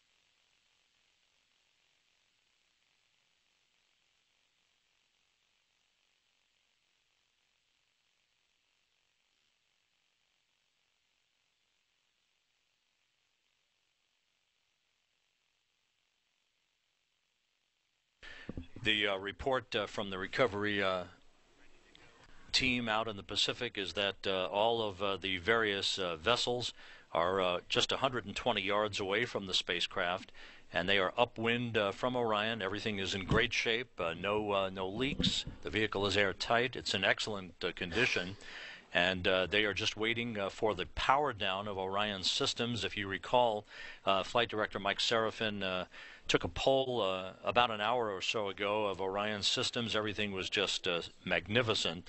And uh, he uh, gave approval for an extended power up of the spacecraft uh, so that uh, additional data on the thermal conditioning of the vehicle could be provided to Lockheed Martin engineers. So, with the splashdown occurring some 38 minutes or so ago. We are expecting the power down uh, about 22 minutes from now, and that uh, will enable the recovery uh, teams uh, to move closer to the vehicle to begin uh, to secure it for for its ability to get back into that flooded well deck of the anchorage just a few hours from now.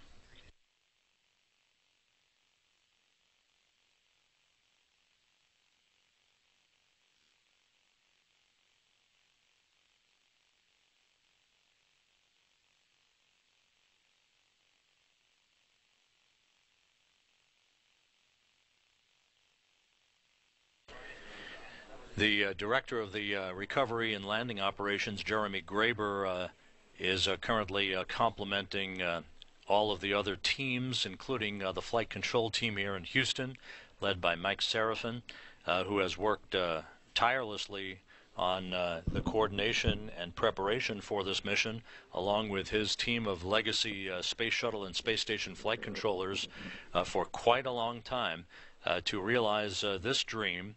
To launch Orion, test its systems, and bring it back safely to Earth and that was done in spades today as Orion uh, proved itself uh, not only a capable vehicle, but a vehicle uh, built uh, to perfection for this first flight test.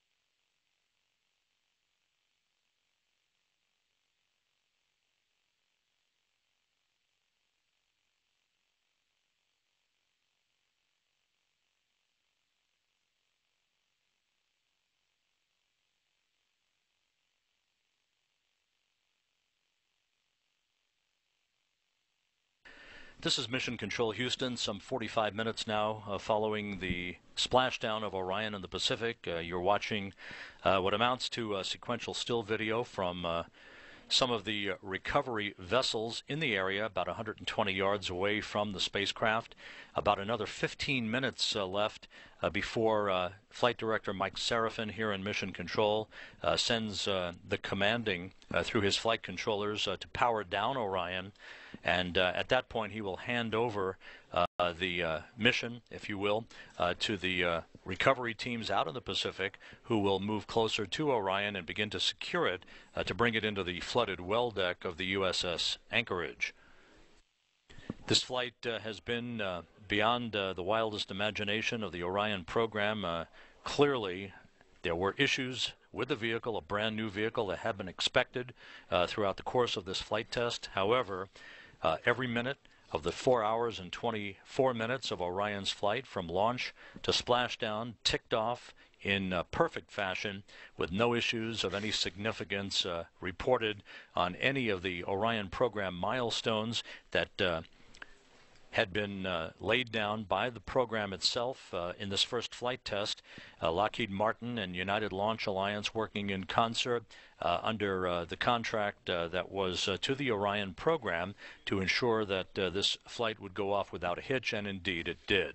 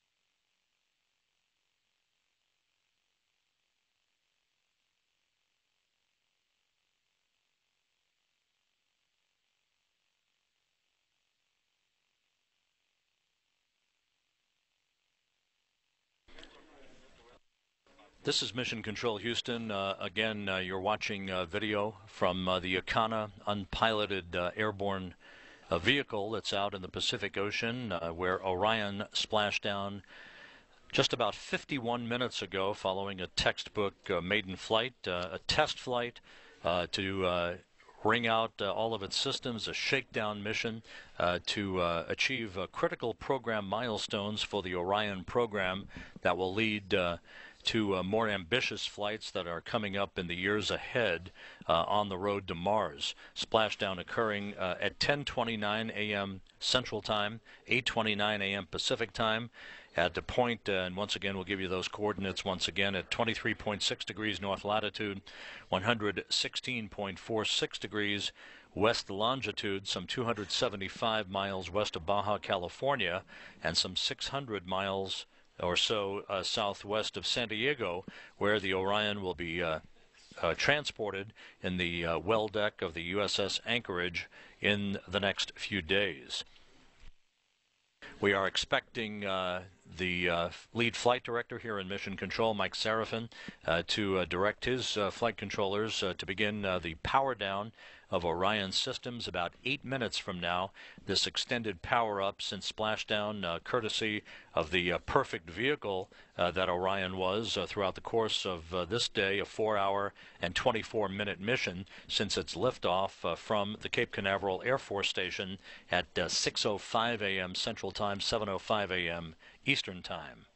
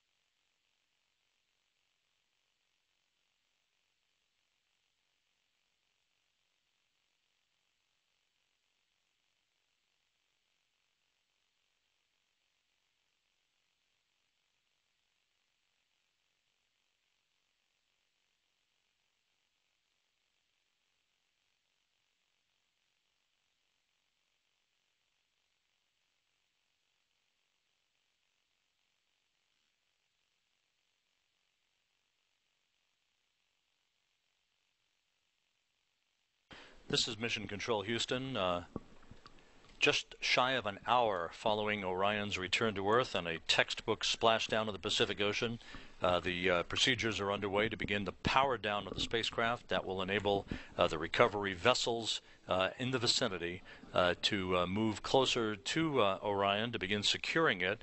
It splashed down in an upright, so called stable one position and remain that way through the use of its uh, inflatable airbags, the uprighting system at the top of the vehicle.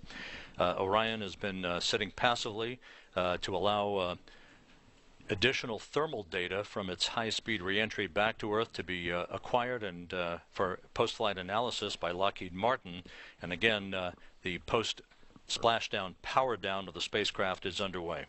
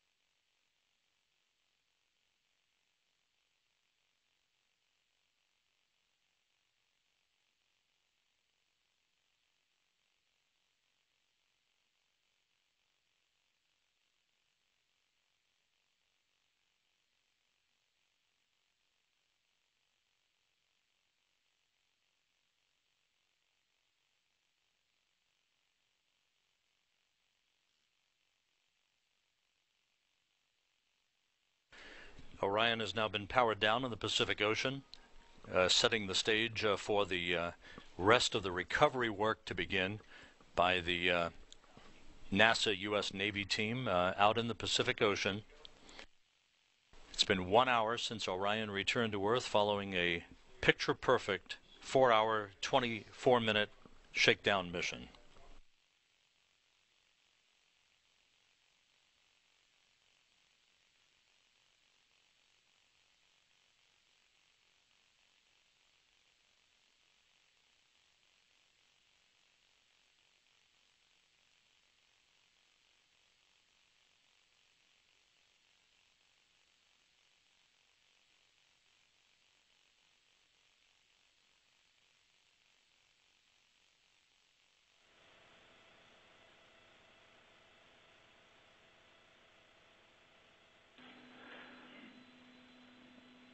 NRD flight on recovery loop.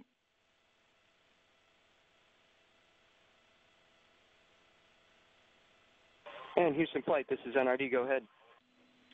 NRD, I am happy to report that Orion is powered down and uh, we are not carrying any hazards associated with recovery.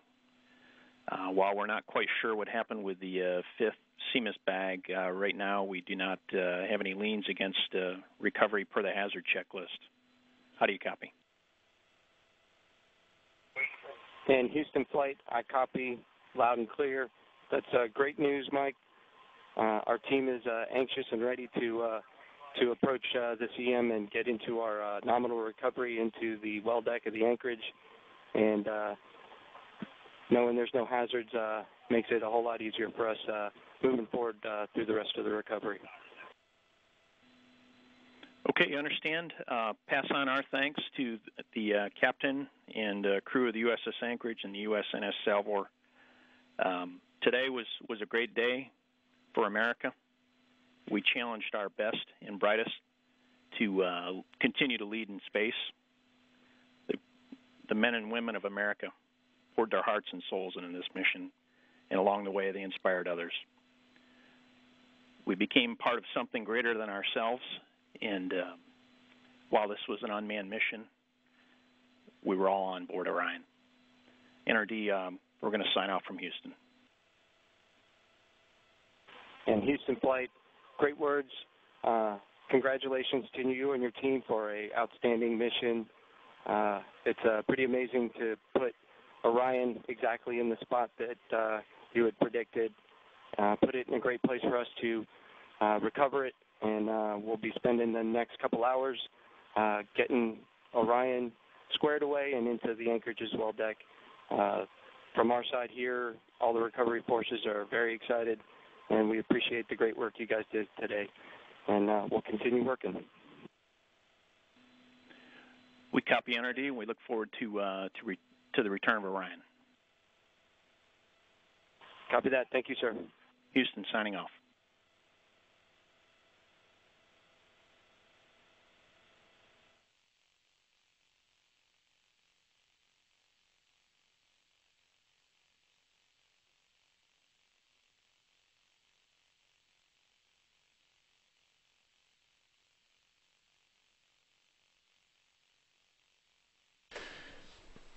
Words from uh, lead flight director Mike Sarafin as uh, he congratulated the recovery team out in the Pacific, whose job uh, now lies ahead uh, to uh, bring Orion into the well deck of the USS Anchorage and to ultimately bring it back to the uh, port of San Diego, the naval base in San Diego, where it ultimately will be transported back to Cape Canaveral for post flight analysis.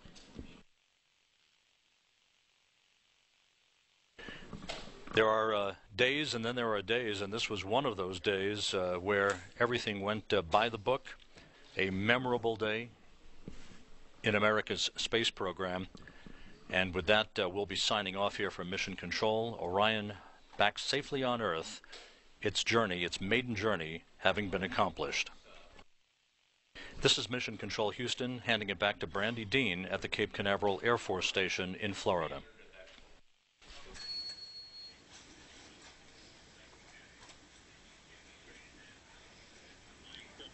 Welcome back to Cape Canaveral and the Mission Director Center. It's clearing out, but it was the scene of lots of applause, uh, handshakes, and even hugs from the steely-eyed rocket men and women who are working here today.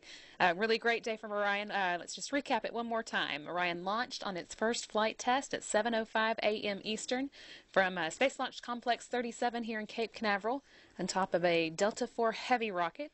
It made two orbits of the Earth and reached a peak altitude of 3,600 miles on the second orbit traveling through the Van Allen belts of radiation and uh, getting a good test of its computers, navigation and control systems, and uh, the jettison and separation events that have to happen to, for a successful mission.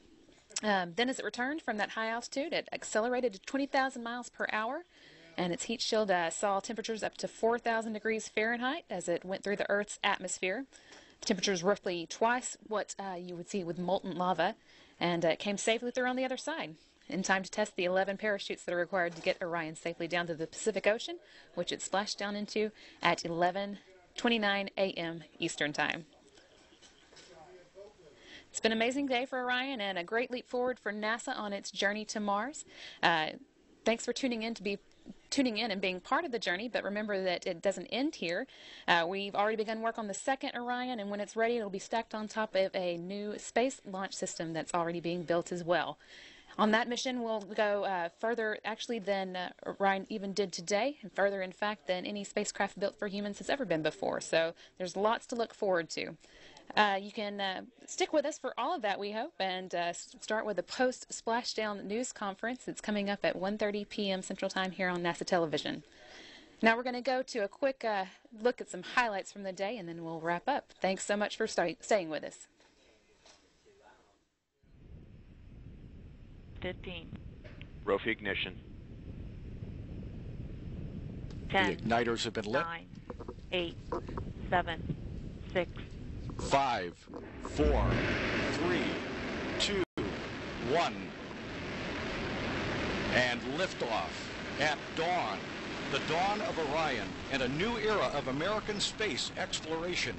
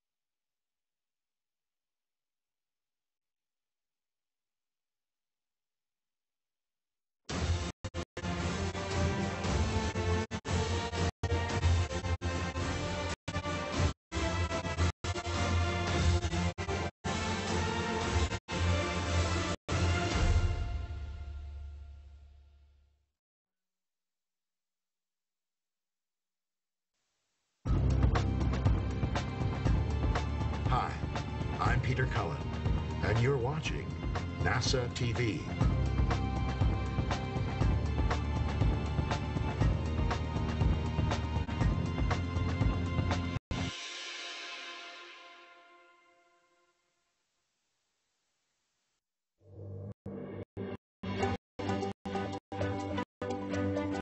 Preparing the Orion crew module for its first flight test in December actually began a few years ago. Crew module for Orion's flight test arrived at Kennedy Space Center in Florida in June 2012 and was transported to the Neil Armstrong Operations and Checkout Building High Bay for manufacturing, processing, and pre-flight testing. During the next two years, Orion prime contractor Lockheed Martin and NASA engineers and technicians built up the crew module from a green shell to a fully functional spacecraft. Many tests were performed to prepare Orion for its flight test. Orion's service module arrived at Kennedy Space Center and also was transported to the Operations and Checkout Building for build-up and processing. The module was completed with the installation of the fairings that protected in the early stages of launch ascent. Orion's heat shield, containing more than 200 instrumentation sensors, when installed, Heat shield will protect Orion during its re-entry into Earth's atmosphere and splashdown in the Pacific Ocean. Moving one step closer to flight test, the Orion crew module was stacked atop the service module in June. Tile panels were installed around the spacecraft, and then both modules were put through their final system tests. On September 11th, the Orion stack was transported from the Operations and Checkout Building to the Payload Hazardous Servicing Facility. Inside this facility, the spacecraft was fueled with ammonia, hydrazine, and high-pressure helium ahead of its December flight test. The four major components for Orion's launch abort system, including the launch abort motor and the attitude control motor, arrived at Kennedy last year and were transported to the launch abort system facility for processing, testing, and integration. In late September, Orion was moved from the Payload Hazardous Servicing Facility to the Launch Abort System facility. Inside the high bay, the launch abort system was lowered and attached to Orion. System is designed to protect astronauts if a problem arises during launch by pulling the spacecraft away from the falling rocket. Orion waited inside the Launch Abort System facility until the United Launch Alliance Delta IV Heavy rocket was ready for integration with the spacecraft. Earlier this year, the Delta IV core and starboard boosters arrived by barge in March and were offloaded and transported to the Horizontal Integration Facility near Space Launch Complex 37 at Cape Canaveral Air Force Station in Florida. The port booster and second stage followed in early May. The Delta IV Central Core Booster was mated to the port and starboard boosters. Then the Delta IV second stage was mated to the rocket's Central Core Booster. The Delta IV rocket for Orion's flight test rolled out of the horizontal integration facility on September 30th and made the trek to the launch pad. In the early morning on October 1st, the nearly 180 foot tall launch vehicle was carefully lifted into the vertical position and then raised into the mobile service tower on the pad. In early November, the Orion stack was transported to the launch pad and integrated to the rocket. Tests were performed to verify readiness for launch. After more than two years of work, Orion is now ready to soar on its first flight test.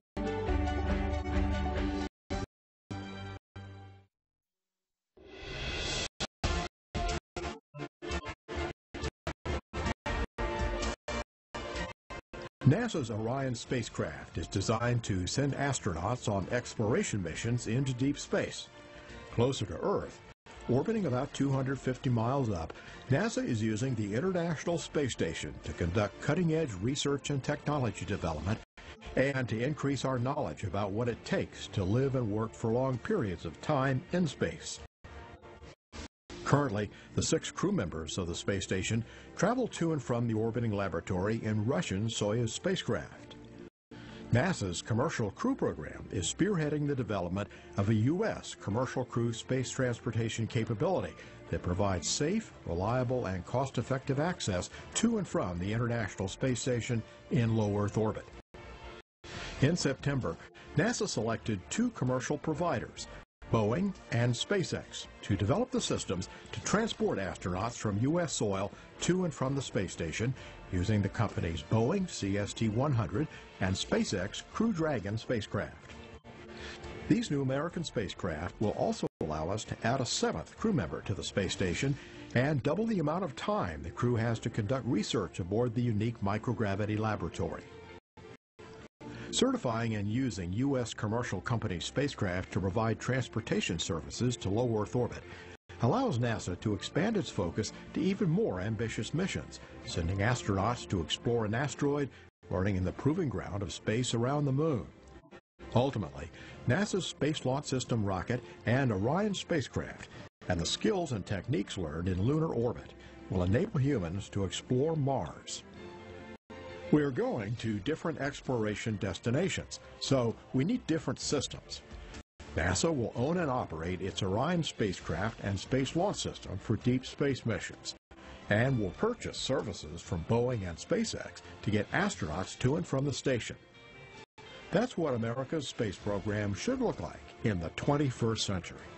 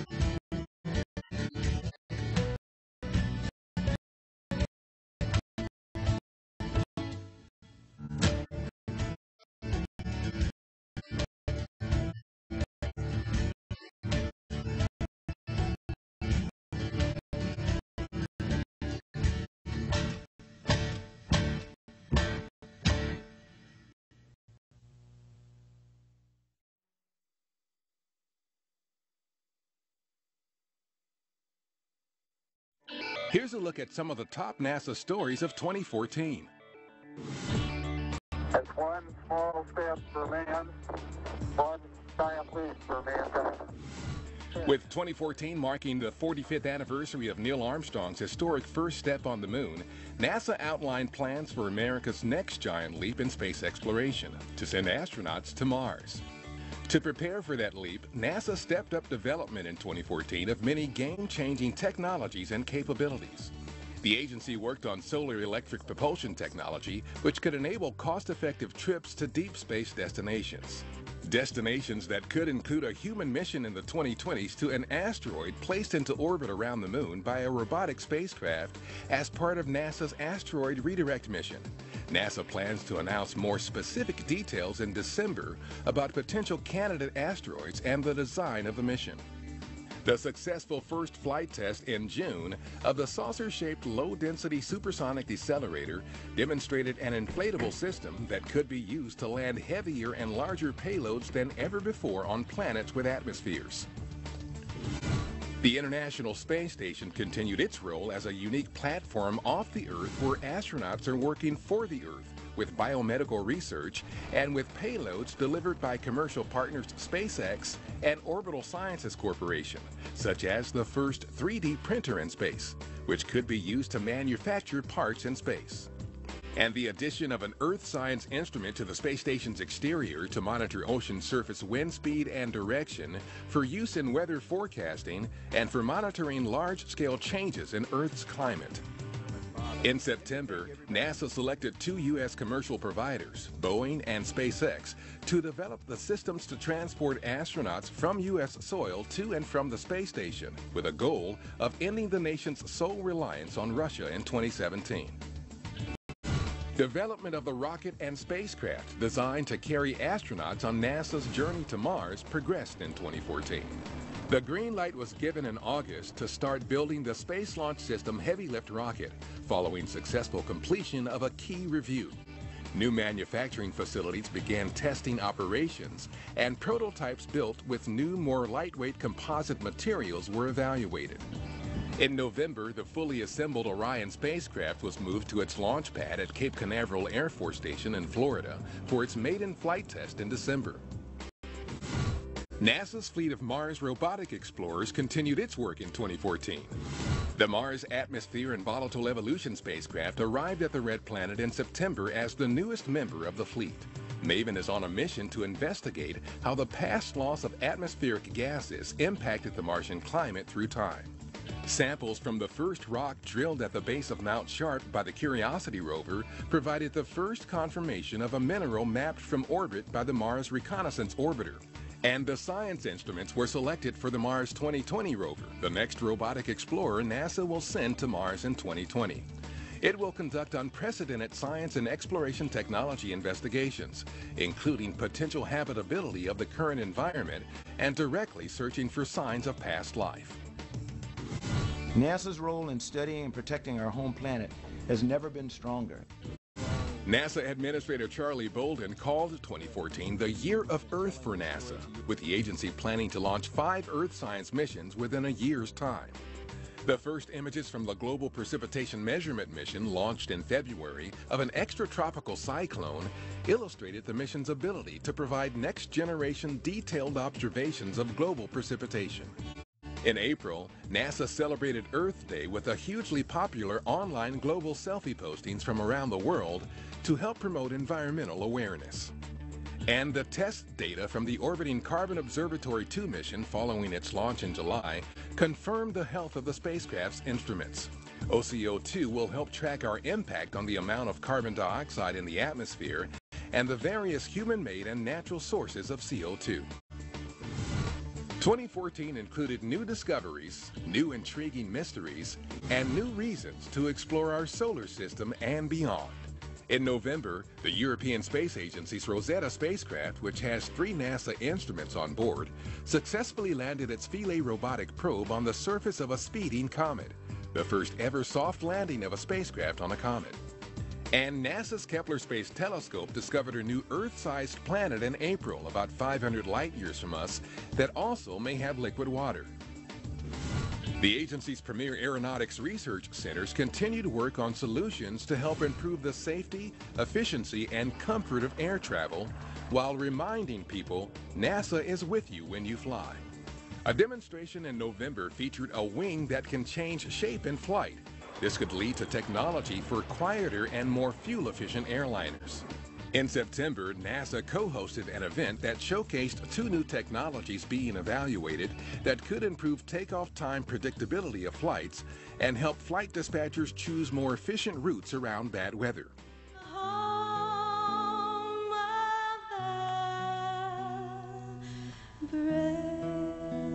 And in May, NASA celebrated the renaming of its Dryden Flight Research Center to the Neil A. Armstrong Flight Research Center and designated Hugh Dryden's name to the center's aeronautical test range. That's a look back at some of the top NASA stories of 2014. Keep up with us in 2015 on social media and at www.nasa.gov/twan.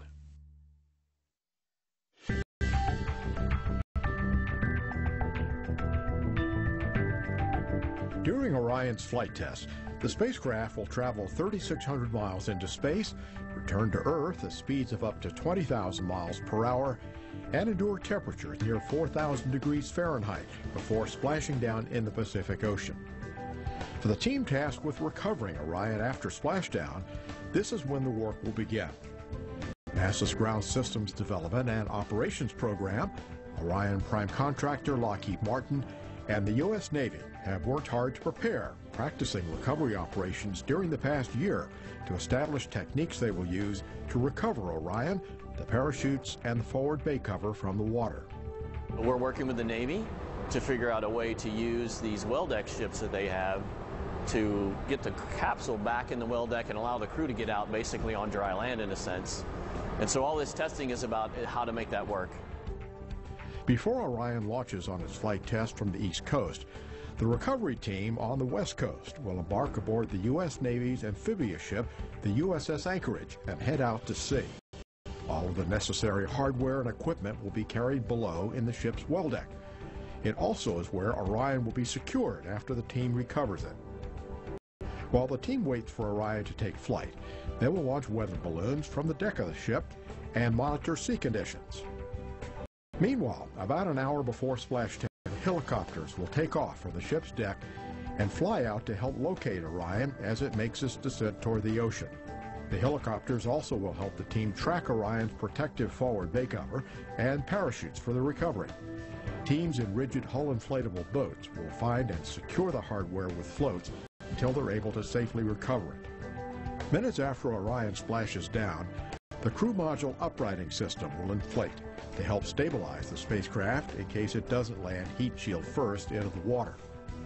U.S. Navy divers in Zodiac boats will check for any hazards around Orion. Then they'll attach a sea anchor, load distributing horse collar, and tether lines to the crew module and work to guide it to the ship's well deck. So it's our way of recovering the Orion crew module, and we do it in a way that we protect the heat shield so that we can get as much good information um, as we can so for the engineering analysis that we'll do moving forward. The spacecraft will be set down on rubber shock absorbers secured to the deck, and the ship will head toward